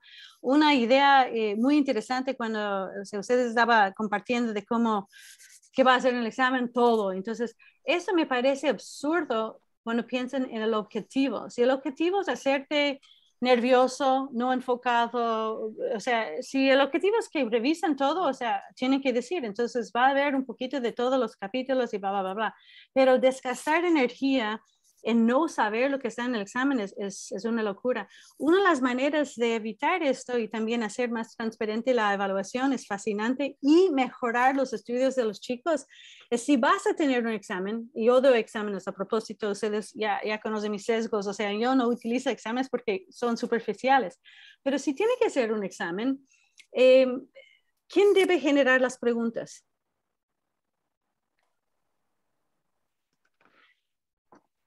Yo diría que debes decir a los chicos, a ver, vamos a tener un, un examen sobre capítulo 10. Cada persona tiene que entregarme tres preguntas que creen que yo voy a poner en el examen. Si utilizo yo tu pregunta, ganas un punto. Entonces, les, les hace forzarles a, a, revisar todo el capítulo, generar las mismas o sea, hacen mucho más estudio en revisar me entregan las preguntas y yo también evalúo mirando la calidad de sus preguntas, qué creen ellos que es importante, que yo pensaba versus lo que yo pensaba que era importante y después, o sea, ayuda a todo el mundo. Entonces, haz que ellos generen las preguntas del examen si tiene que tener uno de estos. A ver, Jimena, perdón. No, Tracy, yo solo agregar, bueno, he participado en muchas de tus, de tus eh, clases y, y la verdad que siempre son eh, nutritivas como para, para, seguir fortaleciendo, digamos, la, la, ruta que uno en algún momento ha tomado. Y a mí me, me parece que uno de los factores tremendamente importantes es, es, va vinculado justamente al diseño curricular y donde es tan necesario que a partir del objetivo los profesores, nosotros mismos, hagamos conscientes los procesos. En la medida que nuestro objetivo planteado y nuestra meta alcanzar esté tomada de la mano con las experiencias de aprendizaje que nosotros pretendamos trabajar con nuestros estudiantes y que nosotros como docentes las tengamos conscientes, sin duda vamos a tener aún más herramientas para poder también corregir el trayecto que se nos puede ir presentando eh, a partir de las diferencias de cada uno de nuestros estudiantes. Así que nada, solamente eso agregar que el profesor, eh, en la medida que tenga consciente eh, ese camino que pretende recorrer acompañando a sus estudiantes, los estudiantes lo van a hacer consciente igual y va a ser bastante más significativo. Tienes toda razón, estoy muy de acuerdo contigo. Y me parece muy interesante, o sea, tú estás dando eco a lo que dijo Daniel sobre este continuo ajuste, ¿no? De entender ahora que la enseñanza no es solo yo enseño, tú aprendes, o sea, hago A y B ocurre, o sea, no es, no es una línea directa. Este proceso de aprendizaje es o sea, de, dar y regresar y ajustar, y de parte del docente que tiene que estar muy pendiente de, de qué está realmente uh, resonando con los chicos y qué no, para poder ajustarse a la marcha. Y esto es realmente la parte más complicada de nuestro trabajo. El plan de estudios que te, te ayuda a aprender a hacer en la universidad no vale mucho porque eso, el plan, el mejor plan que puedes tener siempre está cambiado por la dinámica de la clase.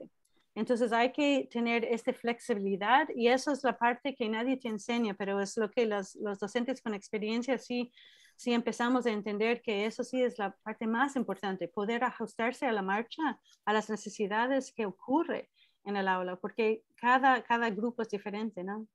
Gracias. Eh, Amaya. A mí lo que me pasa con todo esto es que yo creo que estamos acá todos de acuerdo con lo que se plantea en este en esta pequeña charla, pero a mí me pasa que después volvemos al colegio y, y vuelve a ser contenido, resultado, contenido, resultado, contenido, resultado, y lo que se deja siempre al último son las habilidades blandas, que en teoría es lo que les va a servir en un futuro más que tanto contenido. Entonces yo creo que tiene que haber urgente un cambio en toda la comunidad escolar, porque está bien el cambio parte por uno, pero también tiene que haber un, un apoyo. I think, eh, yo creo que una de, las maneras que tú puedes um, palanquear documentos existentes en este momento para poder hacer esos cambios es de llamarles la atención a su propia misión. Si lees la misión de cualquier institución, siempre están llenos de destrezas blandas, pero nunca está parte del currículo. Y eso es fascinante, ¿no? Porque eso es lo que no se mide hasta que termina la trayectoria. Y eso es, eh, para mí debe ser parte del diario, de ese comienzo. Mira, eh, estoy dedicando tiempo a esto porque es justo nuestra misión que ellos sean gente solidaria. O estoy haciendo esto porque justamente queremos que tenemos gente eh, que, que, son proactivas o lo que sea, ¿no? O sea, parte de la misión, tú puedes usar esto para tratar de, de crear su espacio. La otra cosa, Amaya, que, que me parece que vale la pena decir es que tú conoces los, las sardinas, los pececitos, ya. Tú sabes cómo funcionan ellos. O sea, se juntan, ¿cierto? Para parecer más grande. Y tienen una inercia, o sea, no cambia. Hasta que uno o dos o tres cambia. Y después todos cambian. Entonces, yo quiero que ustedes sean las sardinas que cambian, porque te prometo que la gente te van a seguir, porque es la manera correcta. O sea, sabemos que hay una lógica en hacer sugerencias que la evaluación tiene que cambiar. Y yo creo que poco a poco, o sea, si hay una masa definitiva de, de, gente en Chile que dice, sí, eso sí, entendemos que eso sí vale la pena hacerlo así, yo creo que la gente van a, van a entender, van a escuchar. Entonces, uh, ojalá que seas una buena sardina. uh, Camila. Hola Tracy. Solo era comentar un poco como quizás la preocupación de estos como herramientas que estamos usando para evaluar eh, lleva mucho más a, a los estudiantes, a los niños, a establecer una comparación del uno con el otro, de lo que yo me estoy equivocando eh, o por qué no logro estas cosas y finalmente los aleja de la motivación que los lleva al aprendizaje y los lleva a frustraciones, a quedarse detenidos en su aprendizaje, eh, versus lo que tú nos estás mostrando, eh, que sabemos sobre el portafolio o estas otras formas que realmente son un reflejo del proceso de aprendizaje del niño y va a ser un instrumento tan único que no puede ser comparable con el que está al lado porque va a ser descriptivo de cada uno de los niños. Entonces yo creo que esta herramienta como es mucho mejor eh, frente a un escenario que tiene que convertirse en un reflejo de cada niño, del alumno, del estudiante, y que tiene que ser cada día más inclusivo también, respetando la diferencia de todos. Entonces, si yo veo algo que me dice realmente eh, cuáles han sido mis aprendizajes durante el año, cuáles han sido mis logros, y no como lo que no he podido lograr respecto del curso, eh, me llevaría mucho más a aprender, o sea, generaría una, una motivación, no tan solo conmigo, sino que también con la familia de lo que yo he crecido durante el año. Excelente, excelentes puntos. Y eso es justamente parte del argumento de los e-portafolios. Pueden ser compartidos y la verdad es que le llama la atención justamente al progreso de uno, no a los déficits, porque normalmente la evaluación es decir lo que no has hecho mientras el portafolio muestra lo que sí has hecho, o sea, y cómo has seguido creciendo en este camino, ¿no? Y te ves un trayectorio donde a veces te, te, sientes frustrado porque no has avanzado mucho, pero mira cómo era tu primer borrador y cómo es ahora, ¿no? entonces, y justo lo que tú dices, eh, como es tan individual, o sea, los chicos toman, tienen un orgullo sobre mostrar y, compartir esa información. Entonces eso sí es muy, muy importante y más actores pueden ver esto, entonces es mucho más positivo en ese sentido. Y nadie te dice en ese momento, te dice, tengo que entregar calificaciones, ok, pero ¿por qué no también hacer el portafolio y basar esto, o sea, usar la información del portafolio para informar esas calificaciones, porque hay una cosa más que no dijimos que siempre olvido decir, pero es tan importante reconocer, no hay ninguna forma de evaluación que es objetivo. Ninguno, ninguno. Las palabras que elegimos, pensamos que las opciones, o sea, examen de opción múltiple, o sea, súper sencillo, no puede tener sesgos, Obviamente puede tener sesgos porque el lenguaje que utilizamos, los ejemplos, la manera que formulamos la pregunta ya es sesgado. Entonces, no hay evaluación objetivo. Entonces, si esto es el pedido, tenemos un, no queremos y portafolios porque no son, son demasiado subjetivos, todo evaluación es subjetivo. Entonces, hay mucho más argumentos. Entonces, uh, gracias por llamarnos la atención a, a, la importancia de, de, no comparar con otros, porque eso sí le hace, eh, hay un estudio tristísimo que encontramos, los niños ya de segundo grado, o sea, ocho años, ya por alguna razón, o sea, muchos ya se autocalifican, ah, yo soy malo en escribir, yo no sé escribir, yo soy malo y no puedo escribir, o soy malo en mate.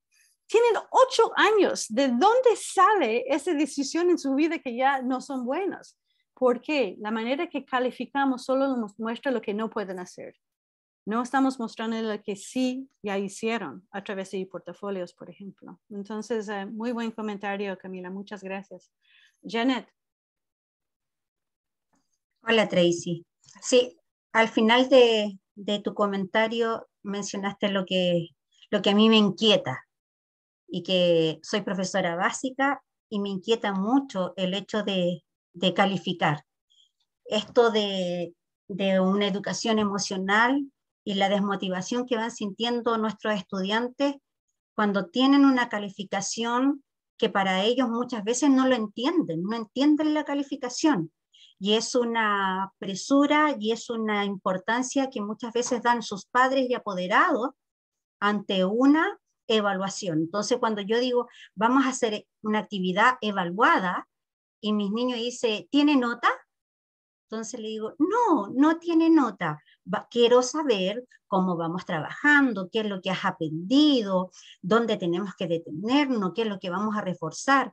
Pero para ellos, por una, por un, una, culturalmente, el evaluar siempre lleva una nota. Y eso ha sido mi inquietud, mi, inquietud, mi preocupación desde, desde que soy profesora.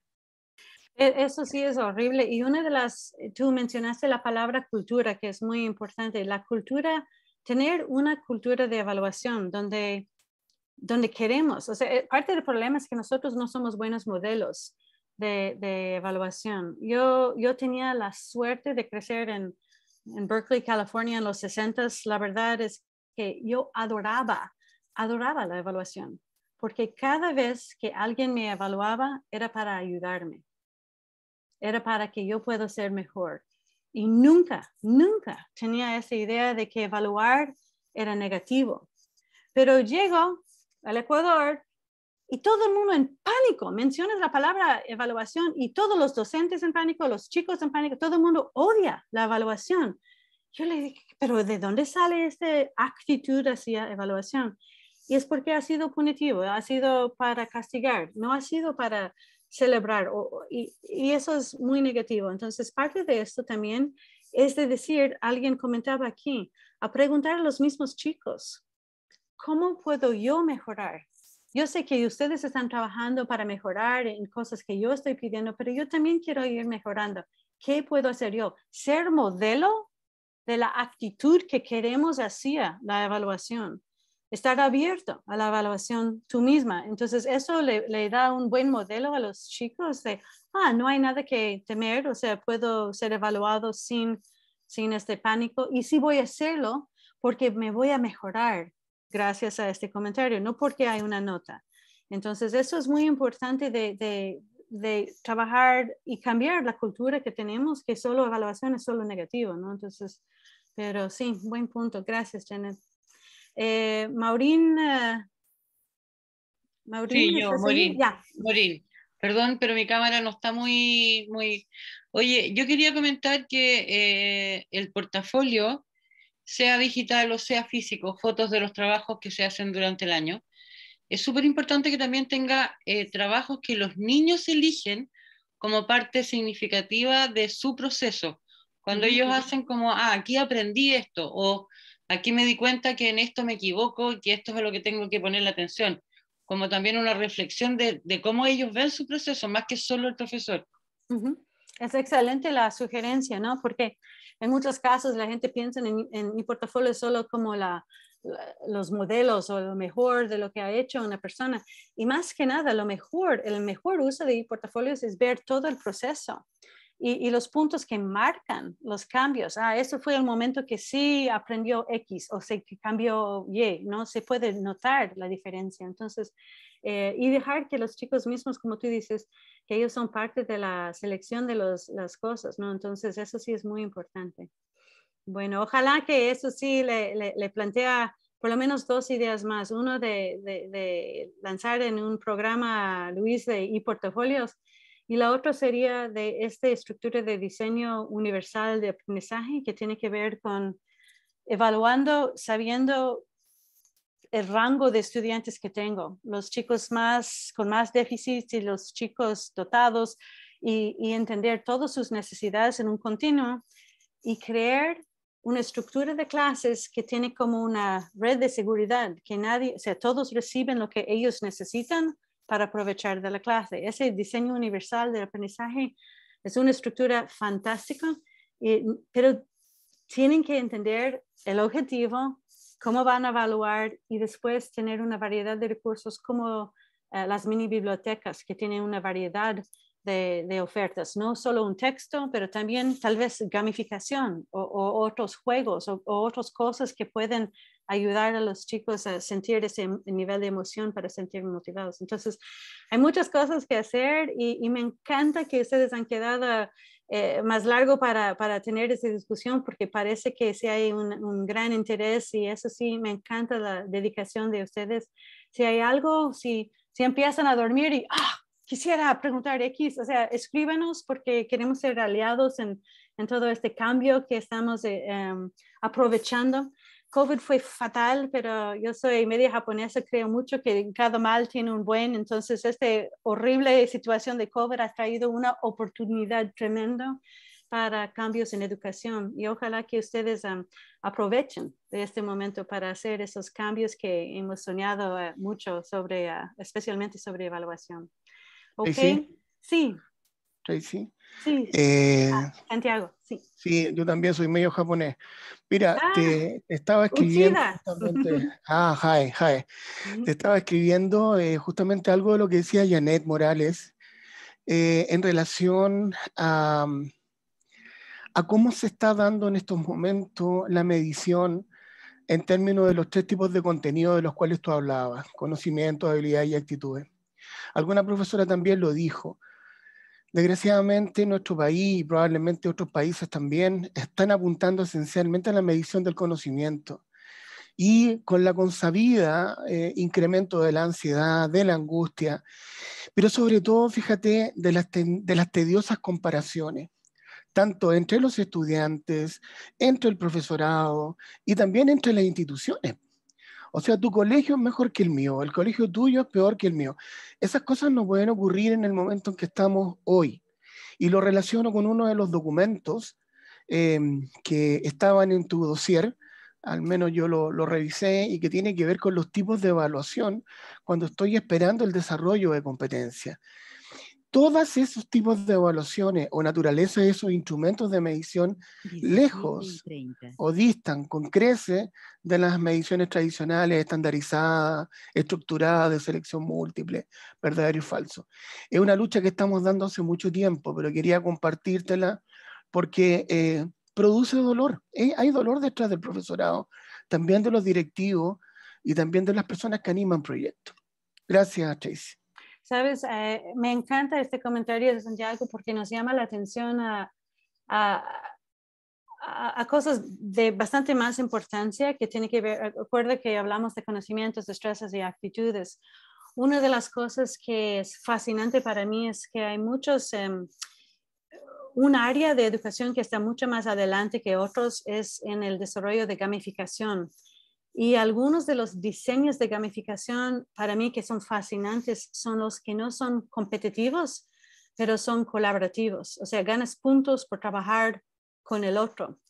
Y, es fascinante la manera que están promoviendo esto. Entonces, parte de eso tiene que ver con nosotros, decidiendo que el objetivo de mi clase es que somos, eh, vamos a avanzar todos juntos vamos a ser solidarios uno con otro, vamos a, o sea, tenemos que nosotros decidir en nuestro espacio individual que eso sí es parte del objetivo que tenemos por nuestros chicos, ¿no? Y esto tiene un efecto multiplicador, ¿no? Entonces, eso sí se van mejorando. En vez de todo eso de las competencias entre grupos, eh, y hay muchos, de mi, mi, mamá vino a visitar en Thanksgiving ah, hace un par de semanas y trajo una una cosa de naipes, porque siempre jugaba con mis hijos. Aunque mis hijos ahora tienen 24, 26 y 28 años, ella trajo esos naipes. Y trajo un nuevo juego que se llama Fierce Women. Tenía que ver con mujeres en la historia internacionalmente conocida, bla, bla, bla, bla. Pero más que nada, el juego en sí es que tú ganas puntos cuando tú puedes apoyar a las agrupaciones de la otra persona. Entonces, no es que tú estás ganando puntos porque tú tienes todas las tarjetas o las naipes, es porque tú estás contribuyendo al otro. Y me parecía fascinante, pero hay, mis hijos me mostraban otros juegos, uh, what is it, um, something of civilizations, me, me mostraba algunos otros juegos donde el objetivo es trabajar juntos, ganas puntos por estar juntos. Y esto sí me parece, esa solidaridad es muy importante de reforzar en todos los niveles. Entonces, gracias por el comentario, porque eso sí es muy, es muy importante, es mucho más allá que solo los conocimientos que se pueden ver en tu teléfono. Eso sí, no necesitan colegio para estas cosas, necesitan docentes y el colegio para formar valores. Y eso sí es, ah, parte de, de nuestro deber ahora, ¿no? Pero gracias. Bueno, eh, Luis, gracias por la invitación y, bueno, siguen adelante ustedes, ¿no? Fue un gusto y buena suerte, ¿no? Muchas gracias a ti, Tracy. Como siempre, un tremendísimo placer y muy constructivo la experiencia de estar contigo en este tipo de, eventos. Gracias nuevamente a ti y a todo el equipo. Cintia, Borja. Cintia, mira, yo estaba mirando el chat